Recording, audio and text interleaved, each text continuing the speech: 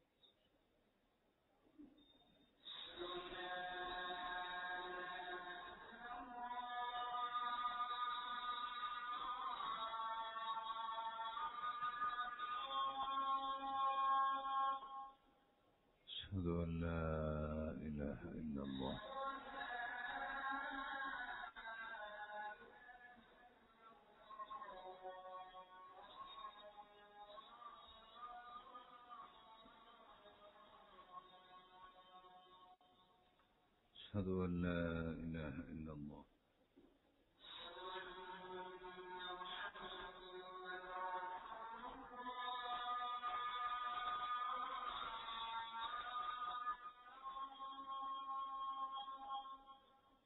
أشهد أن لا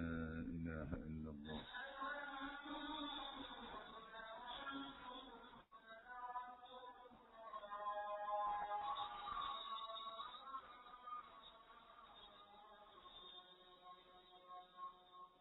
أشهد أن محمدا رسول الله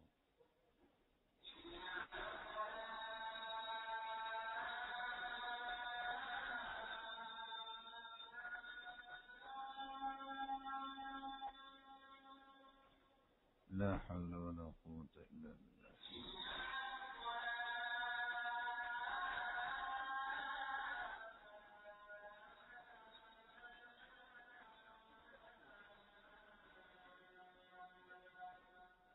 لا حول ولا قوة إلا بالله العلي العظيم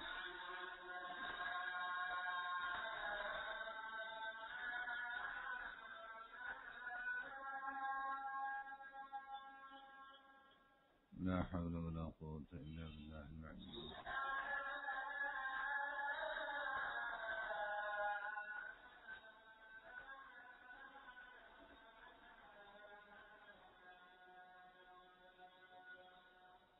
حول ولا قوة إلا بالله العلي العظيم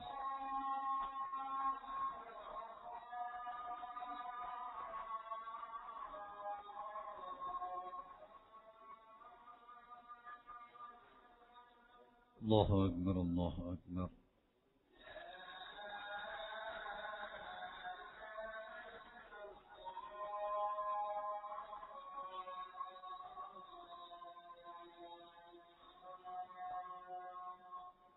لا إله إلا الله اللهم صل على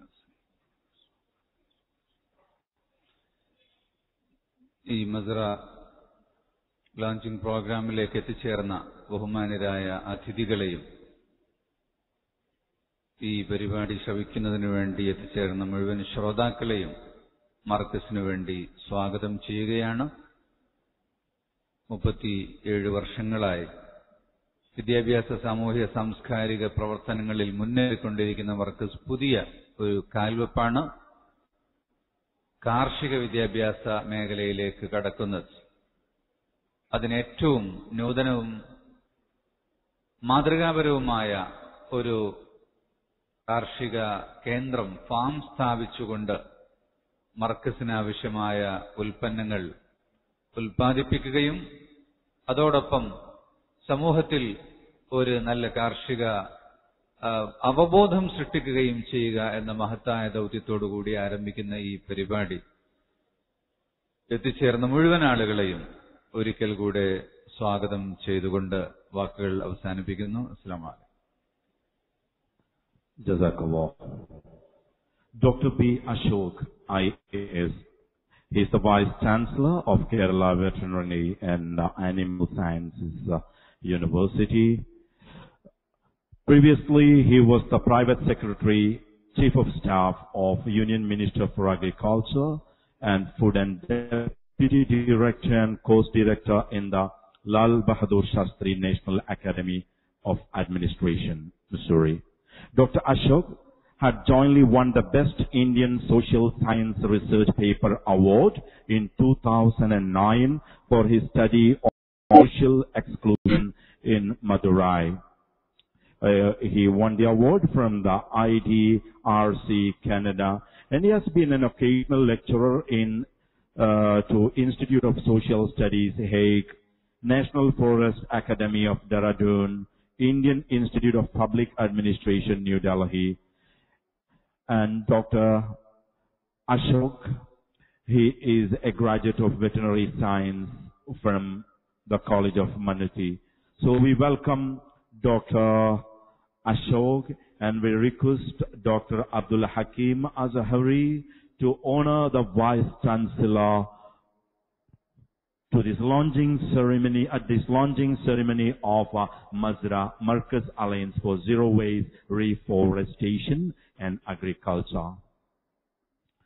Let's all stand up to honor the honor of guests for this evening. Thank you, Dr. Ashok.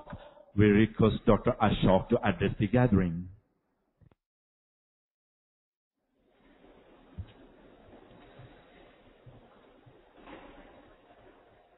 ബഹുമാനപ്പെട്ട അധ്യക്ഷൻ സ്വാഗതം പറഞ്ഞ doctor Abdul Hakeem Azhari Kanthapuram ഇവിടെ എത്തിച്ചേരുന്ന ബഹുമാന്യനായ കൃഷിമന്ത്രി ശ്രീ കെ പി മോഹനൻ വേദിയിലുള്ള കുന്നമംഗലാർ ഗ്രാമപഞ്ചായത്ത് പ്രസിഡന്റ് ശ്രീ അശോകൻ ഇവിടെയുള്ള ശ്രീ ഷാജഹാൻ ശ്രീ ഖാലിദ് ശ്രീ സലീം മറ്റ് വിശിഷ്ട അതിഥികളെ ഇവിടെ ഈ പരിശീലന പരിപാടിയിൽ പങ്കെടുത്തുകൊണ്ടിരിക്കുന്ന വിദ്യാർത്ഥികൾ വളരെയധികം സന്തോഷത്തോടു കൂടിയാണ് ഈ മസ്ര പദ്ധതിയുടെ ലോഞ്ച് അതുപോലെ മർക്കസിന്റെ കാർഷിക വിദ്യാഭ്യാസ പരിപാടി തുടങ്ങുന്ന ഈ സന്ദർഭത്തിൽ ഞാൻ പങ്കെടുക്കുന്നത് ഇന്ത്യ ഒരു കാർഷിക രാജ്യമാണ് ഇന്ത്യയിലെ പകുതിയിലധികം ജനങ്ങൾ കാർഷിക ഉൽപാദനമാണ് തൊഴിലായിട്ട് സ്വീകരിച്ചിരിക്കുന്നത് ലോകത്ത് രണ്ടായിരത്തി മുപ്പത് എന്ന വർഷമെത്തുമ്പോൾ ഇവിടെ പഠിക്കുന്ന വിദ്യാർത്ഥികൾ തൊഴിൽ രംഗത്ത് സജീവമാകുന്ന വർഷമെത്തുമ്പോൾ രണ്ടായിരത്തി മുപ്പതിനും നാൽപ്പതിനും ഇടയിൽ ഇന്നുള്ള ഏഴ് ചില്ലറയ്ക്ക് പകരം എട്ട് ബില്യൺ ജനങ്ങളാണ് ഉണ്ടാകാൻ പോകുന്നത് ഈ എട്ട് ബില്യൺ ജനസംഖ്യയുടെ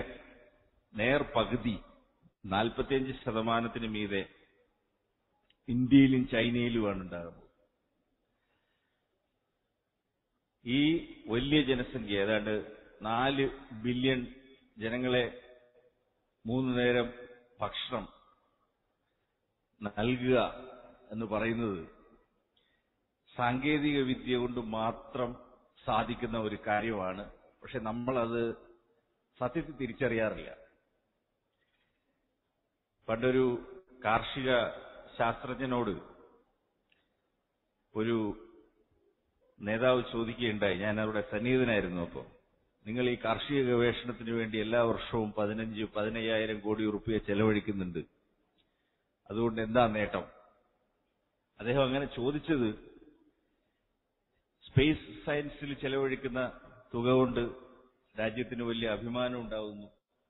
സാറ്റലൈറ്റുകൾ ലോഞ്ച് ചെയ്യുന്നു മിസൈലുകൾ ഉണ്ടാകുന്നു അപ്പൊ അതിന്റെയൊക്കെ ഒരു പശ്ചാത്തലത്തിലാണ് ആ കാർഷിക ശാസ്ത്രജ്ഞനോട് ഇത് ചോദിച്ചത് അപ്പൊ അദ്ദേഹം വളരെ നിസ്സാരമായിട്ട് ബ്രേക്ക്ഫാസ്റ്റ് കഴിച്ചുകൊണ്ടിരിക്കുന്ന ആ തീന്മേശയെ നോക്കിയിട്ട് പറഞ്ഞു ഞങ്ങളുടെ ഗവേഷണത്തിന്റെ ഫലമാണ് തൊള്ളായിരത്തി അറുപതില് ഒരു റാഗി പുട്ടും ഒരു പഴവും മാത്രം ഉണ്ടായിരുന്ന ഈ തീൻമേശയിൽ ഈ നിരന്നിരിക്കുന്ന വിഭവങ്ങൾ മുഴുവനും അത് പറയട്ടെ ഞാൻ ഞാനത് ഓർക്കാൻ കാരണം ഭക്ഷ്യരംഗത്തുള്ള രാജ്യത്തിന്റെ സുരക്ഷിതത്വത്തെ അടിസ്ഥാനപ്പെടുത്തിയാണ് ലോകത്തിന്റെ സുരക്ഷിതത്വത്തെ അടിസ്ഥാനപ്പെടുത്തിയാണ് ബാക്കി എല്ലാ രംഗവും നിൽക്കുന്നത് പക്ഷെ നമ്മൾ മൂന്ന് നേരവും തിന്മേശയിൽ ഇരിക്കുമ്പോൾ ഇതിന്റെ പിന്നിലൊരു വലിയ സയൻസ് ഉണ്ട് അതിന്റെ പിന്നിലൊരു വലിയ സപ്ലൈ ചെയിൻ ഉണ്ട് ജനസംഖ്യയുടെ അൻപത് ശതമാനത്തിൽ കൂടുതൽ ആളുകൾ വ്യാപൃതരായിരിക്കുന്ന ഒരു കർമ്മരംഗമുണ്ടെന്നുള്ളത് ഉണ്ടെന്നുള്ളത് നമ്മൾ എപ്പോഴും ഓർത്തോണമെന്നില്ല അതാണ് അതിന്റെ വലിയ രസം ഇന്ത്യ സ്വതന്ത്രയായി ആദ്യത്തെ പതിനഞ്ച് വർഷം ഇന്ത്യയുടെ പ്ലാനിംഗ് കമ്മീഷന്റെയും പ്രധാനമന്ത്രിയുടെയും എല്ലാം അവർക്ക് ഉറക്കം കെടുത്തിയിരുന്ന വസ്തുത തൊള്ളായിരത്തി നാൽപ്പത്തി ഒന്നിലെ ഫാമിൻ യുദ്ധകാലത്തെ പിന്നെ ഭക്ഷ്യ അവസ്ഥയില്ലായ്മ രാജ്യത്തുണ്ടാകരുത് എന്നുള്ളതായിരുന്നു നിങ്ങൾ എത്ര പേർക്ക് അറിയുമെന്ന് എനിക്കറിയില്ല അന്ന് ഇന്ത്യക്ക് നൂറ് മില്യൺ മെട്രിക് ടൺ ധാന്യോൽപാദനം ഇല്ല അമ്പതോ അറുപതോ മാത്രമേ ഉള്ളൂ അപ്പൊ ഏകദേശം അത്രയും തന്നെ ഇമ്പോർട്ട് ചെയ്തുകൊണ്ട് അമേരിക്ക ആഫ്രിക്കയ്ക്കും ഇന്ത്യക്കും ഇന്ത്യയെ പോലെയുള്ള അവികസിത രാജ്യങ്ങൾക്ക് ഞാൻ അമ്പതുകളിലെ കാര്യമാണ് പറയുന്നത് അൻപതുകളിൽ അറുപതുകളിൽ പബ്ലിക് ലോൺ ഫോർ എയ്റ്റി എന്ന് പറയുന്ന അവരുടെ ഒരു ദാനം അത് കിട്ടാൻ ആയിട്ട്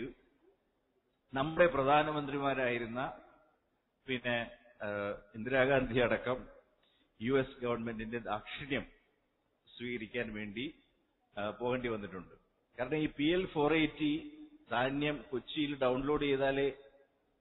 കൊച്ചിയിൽ കേരളത്തിലെ തിരുവിതാംകൂറിലെ വീടുകളിൽ അരി എത്തുള്ളൂ ഇല്ലെങ്കിൽ കപ്പയുള്ളൂ ഇങ്ങനൊരു കാലം കേരളത്തിൽ ഉണ്ടായിരുന്നു എന്നുള്ളത് അടുത്ത ഒരു മുപ്പത് വർഷം കൊണ്ട് നമ്മൾ ഓവർടേക്ക് ചെയ്ത് വന്നെങ്കിൽ ആ അടിസ്ഥാന സുരക്ഷിതത്വം തന്നത് കൃഷി കൃഷിശാസ്ത്രം ഡയറിങ് ഇന്നിപ്പം മർക്കസ് വെഞ്ചർ ചെയ്യുന്ന മേഖലകളിലെ മുന്നേറ്റം കൊണ്ടാണ്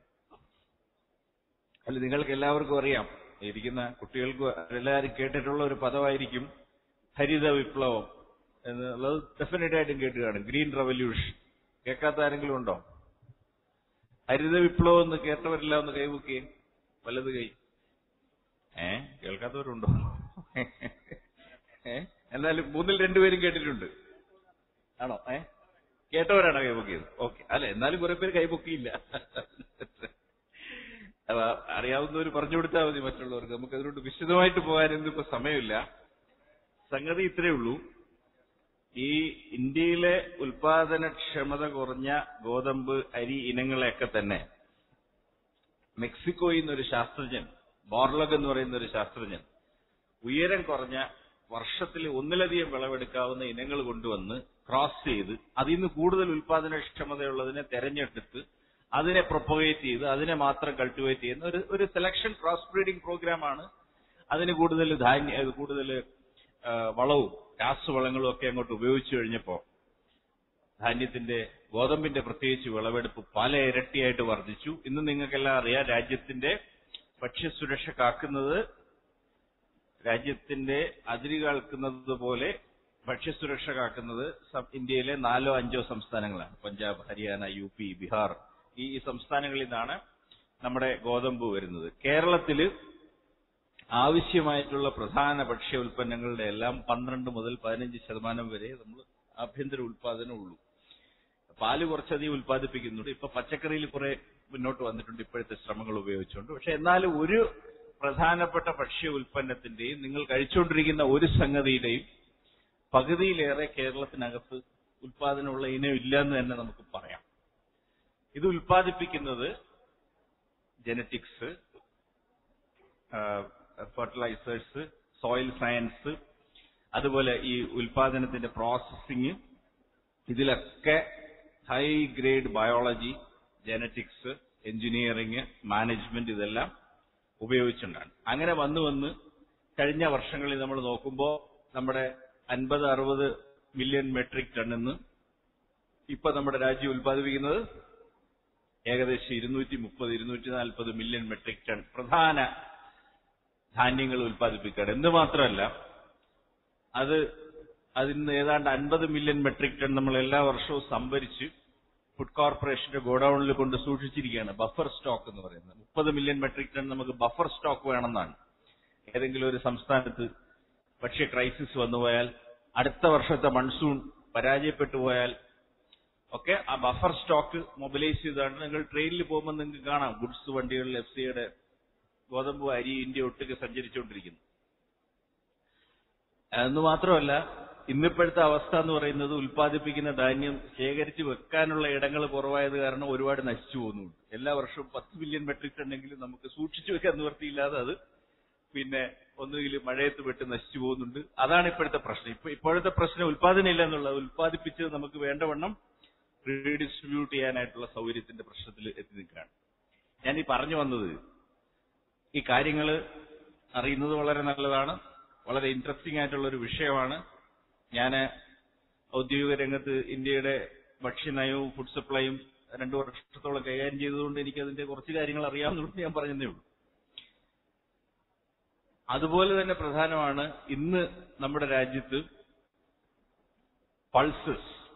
പൾസസ് എന്ന് പറയുമ്പോൾ പരിപ്പ് ഇനങ്ങൾ അത് ഇന്ത്യയെ സംബന്ധിച്ചിടത്തോളം വളരെ പ്രധാനപ്പെട്ട ഒരു ഭക്ഷ്യ ഇനമാണ് മാംസഭക്ഷണം ഇന്ത്യയിലെ പല സംസ്ഥാനങ്ങളിലും പകുതിയിൽ താഴെ ആളുകളെ ഉപയോഗിക്കുന്നുള്ളൂ അപ്പൊ അവരുടെ ഈ പ്രോട്ടീൻ മാംസ്യം കിട്ടുന്നവർക്ക് പ്രധാനമായിട്ടും പാലിൽ നിന്നും പരിപ്പിനങ്ങളിൽ നിന്നുമാണ് പരിപ്പിൽ ഇന്ത്യ ഇപ്പോഴും സെൽഫ് സഫിഷ്യന്റ് അല്ല കഴിഞ്ഞ മൂന്ന് വർഷമായിട്ട് ഇന്ത്യയുടെ പരിപ്പ് ഉൽപാദനം ഈ പയർവർഗ്ഗങ്ങളുടെ ഉൽപാദനം വളരെയേറെ കുതിച്ചു കയറിയിട്ടുണ്ട് പക്ഷേ ഇപ്പോഴും ഇതിലേക്ക് പരിപ്പ് ഇറക്കുമതി ചെയ്യേണ്ടി വരുന്നു അതുപോലെ ഭക്ഷ്യ എണ്ണ ഈ രണ്ട് ഇനങ്ങളിൽ ഒഴിച്ച് മിക്കവാറും ഇന്ത്യയിൽ കഴിച്ചുകൊണ്ടിരിക്കുന്ന എല്ലാ സംഗതികളും ഇന്ന് ഇന്ത്യക്കുള്ളിൽ തന്നെ നമുക്ക് ഉൽപ്പാദിപ്പിക്കാനായിട്ട് സാധിക്കും ഇതിലൊരു വലിയ വ്യത്യാസമുണ്ട് ഇപ്പൊ ചൈനയിൽ ചെന്നു കഴിഞ്ഞാൽ ചൈനയ്ക്ക് വളരെ ആവശ്യമുള്ള ഭക്ഷ്യപദാർത്ഥമാണ് മെയ്സ് ഈ മെയ്സ് ഏതാണ്ട് ഇരുന്നൂറ് മെട്രിക് ടണ്ണോളം ചൈന യു എസിൽ നിന്നും യൂറോപ്പിൽ നിന്നും ഇമ്പോർട്ട് ചെയ്തുകൊണ്ടിരിക്കുകയാണ് നമ്മളെ സംബന്ധിച്ചിടത്തോളം അങ്ങനെ ഇരുപത് മുപ്പത് മില്യൺ മെട്രിക് ടണ്ണിൽ കൂടുതലുള്ള ഒരു ഇമ്പോർട്ട് ഇപ്പൊ നടക്കുന്നില്ല പൾസസിൽ തന്നെ ചെറിയ ലോട്ട്സ് ആണ് നമ്മൾ ഇമ്പോർട്ട് ചെയ്തുകൊണ്ടിരിക്കുന്നത് ഇതിനൊരു വലിയ പ്രാധാന്യമുണ്ട് അതെന്താന്ന് വെച്ചാൽ ഇന്ത്യക്ക് ഒന്നാമത് ഇത്രയും ഭക്ഷ്യധാന്യം ഉൽപ്പാദിപ്പിച്ചുകൊണ്ടേ കഴിക്കാൻ പറ്റും കാരണം ഇന്ത്യയിൽ എത്രയാ ഇപ്പൊ ഒന്നേ പോയിന്റ് മൂന്ന് മില്യൺ പിന്നെ ബില്യൺ പിന്നെ ജനസംഖ്യ ഇപ്പൊ ഇന്ത്യയിൽ ഒരു ഗോതമ്പ് ഷോർട്ടേജ് വന്നെന്നിരിക്കട്ടെ ഇന്ത്യ നേരെ ചെന്ന് ഇപ്പൊ ഗോതമ്പിന്റെ സർപ്ലസ് അമേരിക്കക്കുണ്ട് യൂറോപ്പിലുണ്ട് പക്ഷെ ഇന്ത്യ ഗോതമ്പ് വാങ്ങിക്കാൻ പോകുന്നു ഒരു പത്ത് മില്യൺ മെട്രിക് ടൺ ഇന്ത്യക്ക് വേണം എന്ന് കണ്ടാൽ വലിയൊരു പ്രതിഭാസം ലോകത്ത് നടക്കും ഗോതമ്പിന്റെ വില കുതിച്ചു വരും അപ്പൊ ഇന്ത്യയിൽ ഭക്ഷ്യക്ഷാമം ഉണ്ടായി ഒരു ഇരുപത്തഞ്ച് മില്യൺ മെട്രിക് ടണ്ണിന്റെ ഫുഡ് ഷോർട്ടേജ് വന്നു എന്ന് പറഞ്ഞാൽ ഇന്ത്യയിലെ ഗവൺമെന്റ് ശക്തമായതുകൊണ്ടും ഇന്ത്യക്ക് ഇപ്പൊ സാമാന്യ സാമ്പത്തിക നട്ടലൊക്കെ ഉള്ളതുകൊണ്ടും ഇന്ത്യ ചിലപ്പോൾ ലോക മാർക്കറ്റിൽ നിന്ന് വാങ്ങിക്കും പക്ഷെ അതിന്റെ പ്രത്യേകത വളരെ രസമാണ് ആഫ്രിക്കയിലായിരിക്കും ആളുകൾ മരിക്കാൻ പോകുന്നത് അതുകൊണ്ട് ഇത്രയും കോംപ്ലക്സ് ആയ ഒരു സംവിധാനം ഇതിനകത്തുണ്ടെന്ന് പലർക്കും അറിയില്ല നമുക്കങ്ങ് വാങ്ങിച്ചു കളയാന്ന് വിചാരിക്കുന്ന പോലെ ഒരു സംഗതിയല്ല നിങ്ങൾ ഒരു കോട്ട് ഇന്ത്യയിൽ ഇഷ്യൂ ചെയ്ത് ഇന്ത്യക്ക് പത്ത് മില്യൺ മെട്രിക് ടൺ ഗോതമ്പ് ഗോതമ്പോടൊന്ന് ഇഷ്യൂ ചെയ്ത് കഴിഞ്ഞാൽ ലോക മാർക്കറ്റിലെ ലോക മാർക്കറ്റിൽ ഗോതമ്പിന്റെ വ്യാപാരം നിയന്ത്രിക്കുന്ന നാലോ അഞ്ചോ കമ്പനികളാണ് ഓവർനൈറ്റ് സ്വർണത്തിന് വില കയറുന്ന പോലെ പിറ്റേന്ന് രാവിലെ അൻപത് ഡോളർ വില കയറും ക്വിന്റലിന് അപ്പൊ ഞാൻ ഞാൻ പറഞ്ഞു വന്നത് ഇത് വളരെ രസമുള്ള ഒരു വിഷയമാണ് വളരെ പ്രധാനപ്പെട്ട ഒരു വിഷയമാണ് ഭക്ഷ്യ ഉൽപാദനം ശക്തമായിട്ട് നിൽക്കുക അതിനകത്ത് നല്ല വൈവിധ്യം ഉണ്ടായിരിക്കുക കൃഷിയിൽ കൂടുതൽ കൂടുതൽ ചെറുപ്പക്കാർ വ്യാപൃതരായിരിക്കുക എല്ലാ ശാസ്ത്രത്തിന്റെയും പ്രയോഗം കിടക്കുന്ന ഒരു സബ്ജക്റ്റാണ് ബയോളജി ജനറ്റിക്സ് ഫിസിക്സ് അതിന്റെ അതിന്റെ അഗ്രോ കെമിസ്ട്രി ഉണ്ട് അതിന്റെ എഞ്ചിനീയറിംഗ് ഉണ്ട് അങ്ങനെ എക്സൈറ്റിംഗ് ആയിട്ടുള്ള ഇപ്പൊ മൃഗ സയൻസ് എടുത്തു കഴിഞ്ഞാൽ തന്നെ മൃഗങ്ങളുടെ പ്രജനനം വളർച്ച അതിന്റെ പിന്നെ ചികിത്സ രോഗങ്ങള് അതിന്റെ പ്രത്യേക പ്രത്യേകിച്ച് മാംസോൽപാദനത്തിന് അതിന്റെ എത്രത്തോളം പ്രോഡക്റ്റുകൾ ഉണ്ടാക്കിയെടുക്കാം ഇതൊക്കെ തന്നെ ഇത് മാത്രമല്ല ഈ എല്ലാ പ്രക്രിയയും വളരെ വിജയകരമായിട്ടുള്ള ബിസിനസ് സംരംഭങ്ങളാണ് ഇപ്പൊ മാംസ ഉൽപ്പന്നങ്ങൾ വിൽക്കുന്നത് അല്ലെങ്കിൽ കട്ട്ലറ്റ് ഉണ്ടാക്കി വിൽക്കുന്നത് ഞാൻ നേരത്തെ പറഞ്ഞ മാതിരി പാക്സ് ബിരിയാണി ലഞ്ച് ഉണ്ടാക്കിയത് ഓരോ ഘടകം ഓരോ സ്റ്റെപ്പ് ഓരോ ബിസിനസ്സുകളാണ് നിങ്ങൾക്ക് അറിയുന്ന മറ്റൊരു ഇന്ത്യയിലെ ഒരു വലിയ വിജയമാണ് ഇന്ത്യയിലെ ക്ഷീര കർഷകരുടെ വിജയം എന്ന് പറയുന്നത് ഇതൊക്കെ വളരെ സൂക്ഷ്മമായിട്ട് നമ്മൾ ശ്രദ്ധിച്ചെങ്കിൽ മാത്രമേ നമുക്ക് മനസ്സിലാവുകയുള്ളൂ ഇന്ത്യയിൽ പാലുൽപാദനം ആദ്യത്തെ ഇരുപത് മുപ്പത് വർഷം വലിയ നഷ്ടമായിരുന്നു അതിന്റെ കാരണം എന്താണ് ലോകത്ത് ഏറ്റവും കൂടുതൽ പാൽ ഉൽപ്പാദിപ്പിക്കുന്ന രാജ്യം ഏതാ ചോദ്യം ഏ ഏഹ് ആ അപ്പൊ ശരിയാ അറിയുന്ന കൂട്ടരാണ് കേട്ടോ ഇന്ത്യയാണ് ഏറ്റവും കൂടുതൽ ലോകത്ത് പാൽ ഉൽപ്പാദിപ്പിക്കുന്നതെന്ന് മനസ്സിലായി നമ്മുടെ പശുക്കളുടെ മിടുക്കൊണ്ടല്ല എണ്ണം കൊണ്ടാണ് ആളോഹരി പശുവിന്റെ കാര്യം എടുത്താൽ സ്ഥിതി കഷ്ടമാണ് ആളോഹരി എടുത്താൽ നാലഞ്ച് ലിറ്ററേ ഉള്ളൂ ഓരോ പശുവിനും കഴിഞ്ഞ ദിവസം ഞങ്ങളുടെ യൂണിവേഴ്സിറ്റിയിൽ പിന്നെ യു എസിലെ കൻസാസ് സ്റ്റേറ്റിലെ ഡയറി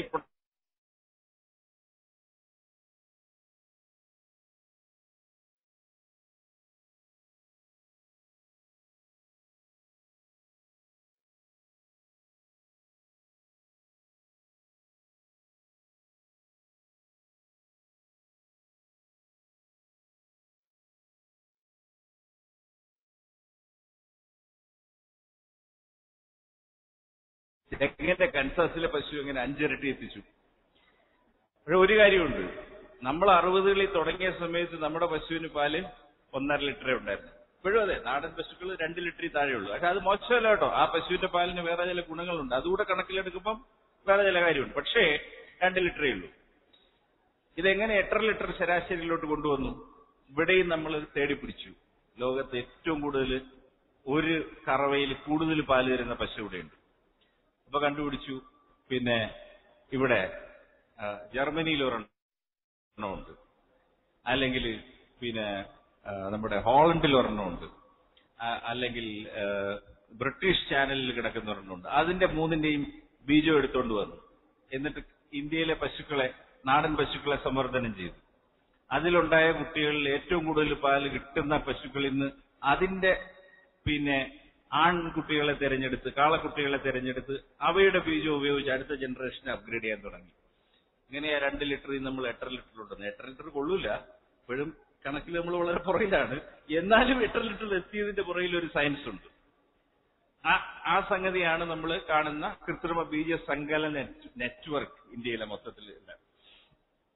ഇന്ത്യയിൽ ഇപ്പോഴും ഇരുപത്തി അഞ്ച് ശതമാനം മുപ്പത് ശതമാനം പശുക്കളെ ഇങ്ങനെ നമ്മൾ ജനിതകമായിട്ട് മെച്ചപ്പെടുത്തി എടുത്തിട്ടുള്ളൂ ബാക്കി എഴുപത്തഞ്ച് ശതമാനവും നാടൻ പശുക്കൾ തന്നെയാണ് നിങ്ങൾക്കറിയാത്ത ഒരു കൊച്ചു കാര്യം കൂടി ഞാൻ പറഞ്ഞുതരാം ഇന്ത്യയെ ലോകത്തെ ഏറ്റവും വലിയ ക്ഷീരോത്പാദക രാജ്യമാക്കുന്നത് സത്യത്തിൽ പശുക്കളല്ല പശുക്കൾ അതിന്റെ ഒരു നാൽപ്പത്തഞ്ച് ശതമാനമേ കോൺട്രിബ്യൂട്ട് ചെയ്യുന്നുള്ളൂ ഭൂരിഭാഗം പാലും കോൺട്രിബ്യൂട്ട് ചെയ്യുന്ന ആരാ ഏ ആടോ ആടിന്റെ പാലിനൊന്നും വലിയ കാര്യമൊന്നുമില്ല നമ്മൾ പശുപാലിനെ കുറിച്ച് സംസാരിക്കുന്നു ഏ ആരാ കോൺട്രിബ്യൂട്ട് ചെയ്യുന്നത് കേട്ടില്ലല്ലോ എരുമ കറക്റ്റാണ് എരുമപ്പാലാണ് ഇന്ത്യയുടെ പാലുൽപാദനത്തിന്റെ ശക്തി എന്ന് പറയുന്നത് ആർക്കും കണ്ടുകൂടാ എരുമയെ എരുമയെ വളർത്തുന്നു എന്ന് ചോദിച്ചാൽ പശു ആവാ എരുമ വേണ്ടെന്ന് സാധാരണ എല്ലാവരും പറയുള്ളൂ പക്ഷെ ഇന്ത്യയിലെ പ്രത്യേകിച്ച് കിഴക്കൻ പടിഞ്ഞാറൻ ഇന്ത്യയിലെ ഗുജറാത്ത് പിന്നെ പാർട്സ് ഓഫ് മഹാരാഷ്ട്ര ആ വടക്കൻ സെഗ്മെന്റിൽ മുഴുവനും എരുമയാണ് ഉൽപാദനം നടത്തുന്നത് എരുമപ്പാലിൽ വേറൊരു ഗുണമുണ്ട് അതെന്താണെന്നറിയോ നിങ്ങൾ ശ്രദ്ധിച്ചിട്ടുണ്ടോ ചായക്കടക്കാര് പശു പാലിനേക്കാൾ കൂടുതൽ എരുമപ്പാലാണ് പ്രിഫർ ചെയ്യുക എന്തുകൊണ്ടാണെന്നറിയോ അതൊക്കെ ആലോചിക്കണം ഭയങ്കര സയൻസ് ആണ് ഇതിനകത്ത് നോക്കിയ പാല് നോക്കിയാൽ ഒന്നും കാണുന്നില്ല എല്ലാ പാലും ഒരുപോലെ പക്ഷെ അതിനകത്ത് കൊഴുപ്പിന്റെ അളവ് എരുമപ്പാലിൽ കൂടുതലാണ് അതുകൊണ്ട് അത് വെച്ച് ഒരു ഒരു ലിറ്ററിന് വളരെ കൂടുതൽ ചായ ഉണ്ടാക്കാൻ എരുമപ്പാൽ കൊണ്ട് സാധിക്കും ഓരോ ഓരോ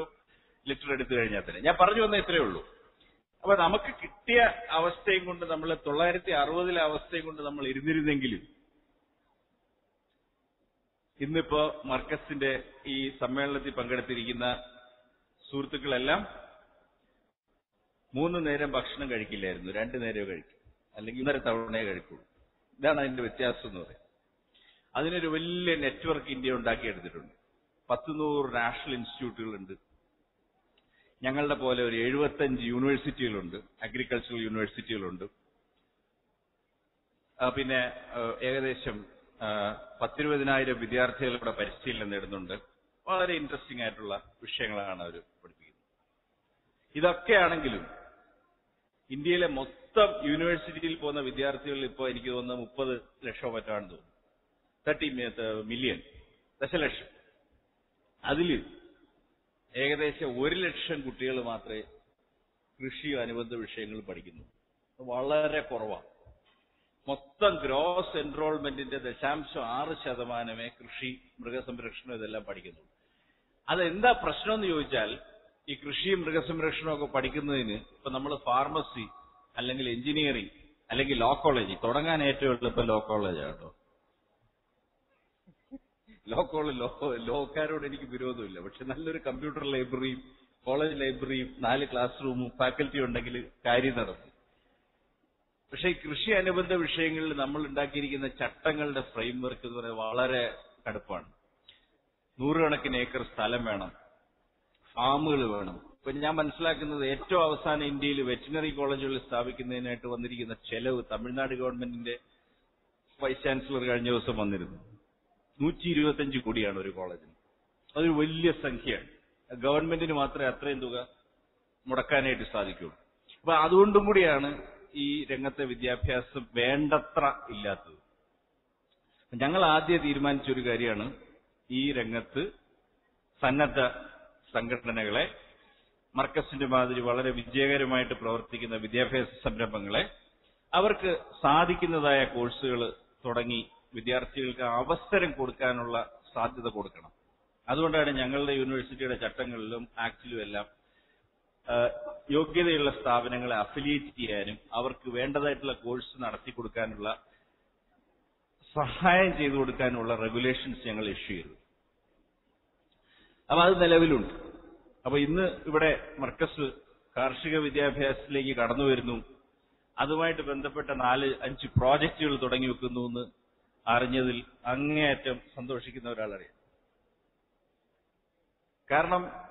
മർക്കസിനെ കൊണ്ട് ചെയ്യാൻ സാധിക്കും number one number two number two ഈ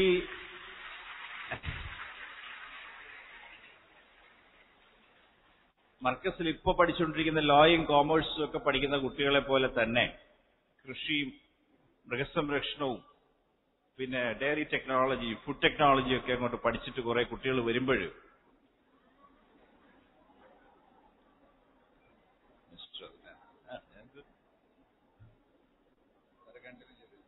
രണ്ടു മിനിറ്റ് എടുക്കും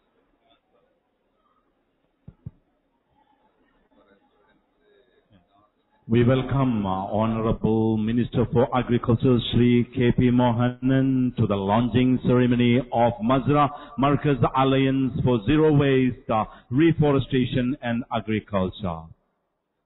We welcome you. Please be seated. Here come.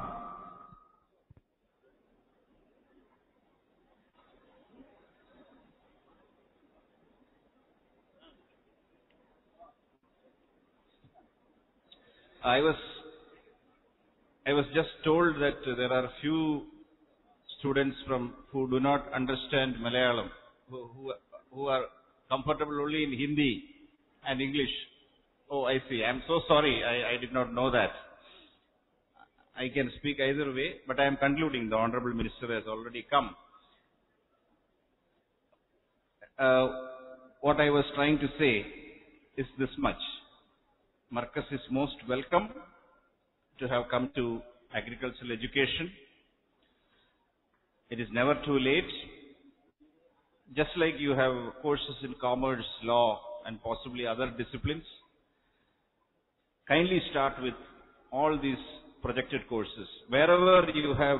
landed facil- land facility and where you are capable of hiring faculty, our university will be very, very happy to support you in formulating the syllabus, getting the right guiding started. So I understand that Marcus wants to make an application to us to recognize a few programs. We'll be very happy to do so. We fully understand that you are starting. Good thing is that we are also starting. So we have encouraged as many, any, as many institutions as possible to come to start these uh, uh, new programs. Just a word of advice there. Give ample importance to the diploma level programs also. It may not be very good if you only focus on the degree and postgraduate programs. You are most welcome to do that. But the three-year, two-year diplomas are extremely useful for a large number of students, particularly our courses in poultry production, poultry management. We are the only faculty in India to have a full-fledged faculty of uh, poultry production in Palakkad. We fully look forward to courses in BSc, Bachelor's in Poultry Science and Management, which is high demand subject. Professor Jalaluddin is, is in charge there. I'll speak to him. Think about it. There are several other master's courses also which you can start with for 10 students who have general science degrees who can actually come and do that. Uh, maybe you can think of a veterinary institution a little later because it calls for a lot of investment as I told you and it is a little more taxing. So my basic message is food technology most welcome. Dairy technology I have already suggested. Try and start at least two or three more diploma programs so that the plus two students who do not make the grade for full-fledged engineering can also undergo them and they can find and you need them. If you want these enterprises, you need them in supervisory roles. four-year graduates cannot run these farming enterprises uh, all by themselves. അപ്പൊ എനിക്ക് ഇത്രേ പറയാനുള്ളൂ ബഹുമാനപ്പെട്ട സർവകലാശാല pro chancellor കൂടിയായിട്ടുള്ള ബഹുമാന്യനായ മന്ത്രി Shri K P Mohanan sir എത്തിയിട്ടുണ്ട് അദ്ദേഹത്തിന്റെ നാട്ടില് വലിയ ഒരു കാർഷിക പ്രദർശനം നടക്കുകയാണ് ഞാൻ ഇന്ന് രാവിലെ അവിടെ പോയിരുന്നു അദ്ദേഹത്തിന്റെ അതിനിടയിൽ സമയം കണ്ടെത്തിയാണ് അദ്ദേഹം വന്നിരിക്കുന്നത് എന്നുള്ളതും പിന്നെ അങ്ങേയറ്റം സ്തുതിക്കേണ്ട ഒരു കാര്യമാണ് ഞാൻ സാറിന്റെ പരിപാടി വിട്ടിട്ടാണ് സാർ ഇങ്ങോട്ട് വന്നിരിക്കുന്നത്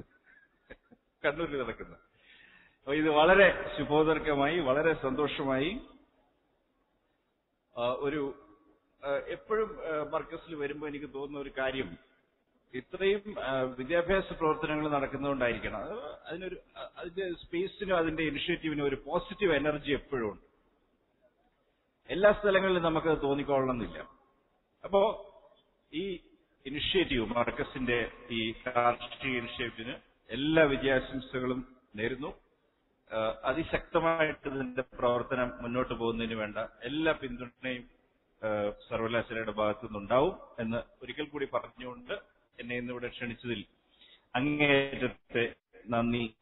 ഭാരവാഹികളോട് രേഖപ്പെടുത്തിക്കൊണ്ട് ഞാൻ നിർത്തുന്നു നന്ദി നമസ്കാരം Thank you, Dr. P. Ashok, IAS. He is the Vice Chancellor of uh, KVASU. He was uh, also the Director of State Jalanidhi Project and uh, he was the District Collector for Pathanamthitta. Now I, I call upon uh, Honorable uh, Vice Chancellor uh, to confer a memento upon one of our volunteering teachers who volunteered for അവർ five day long agricultural workshop അഞ്ച് ദിവസം നീണ്ടുനിന്ന കാർഷിക ശില്പശാല കഴിഞ്ഞ ആഴ്ച മർക്കസിൽ നടക്കുകയുണ്ടായി ഒരു പക്ഷേ ഇന്ത്യയിൽ ആദ്യമാകാം ഇതുപോലെ ഒരു മത സാംസ്കാരിക സ്ഥാപനത്തിൽ ഗവൺമെന്റ് സ്പോൺസർ ചെയ്യുന്ന മിനിസ്ട്രി ഓഫ് അഗ്രികൾച്ചർ സ്പോൺസർ ചെയ്യുന്ന വളരെ വിപുലമായ ഒരു പഞ്ചദിന കാർഷിക ശില്പശാല നടക്കുന്നത് അതിൽ പങ്കെടുത്ത് അതിലെ ക്യാമ്പ് അംഗങ്ങൾക്ക് വ്യക്തമായ ലൈൻസ് നൽകുകയും അവർക്ക് വേണ്ടുന്ന ഫിസിക്കൽ എഡ്യൂക്കേഷൻ ട്രെയിനിങ് നൽകുകയും ചെയ്ത sir H Salam H Salam മാസ്റ്റർക്ക് മെമ്മൻഡോ നൽകുന്നതിന് വന്നിരായ vice chancellor doctor P Ashok സാറെ ക്ഷണിക്കുന്നു Salam sir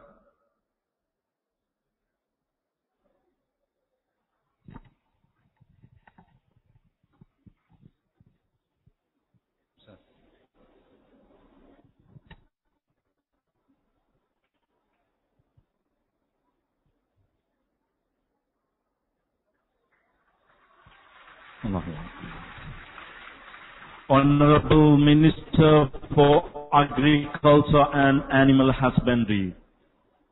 Sri K.P. Mohanan. He is the Minister for Agriculture of the state and he is the son of uh, Sri late P.R. Kurupa, the ex-Minister of State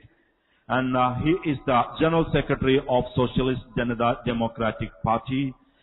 Minister K.P. Mohanan has to handle portfolios of agriculture, soil conservation, soil survey, warehousing cooper- corporation, agricultural university, animal husbandry, veterinary university, printing and stationery, and a lot of other allied agriculture and uh, uh, livestock-related activities.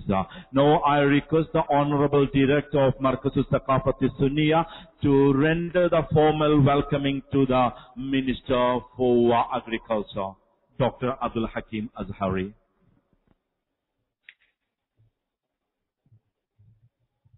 ബഹുമാന്യരായ കേരള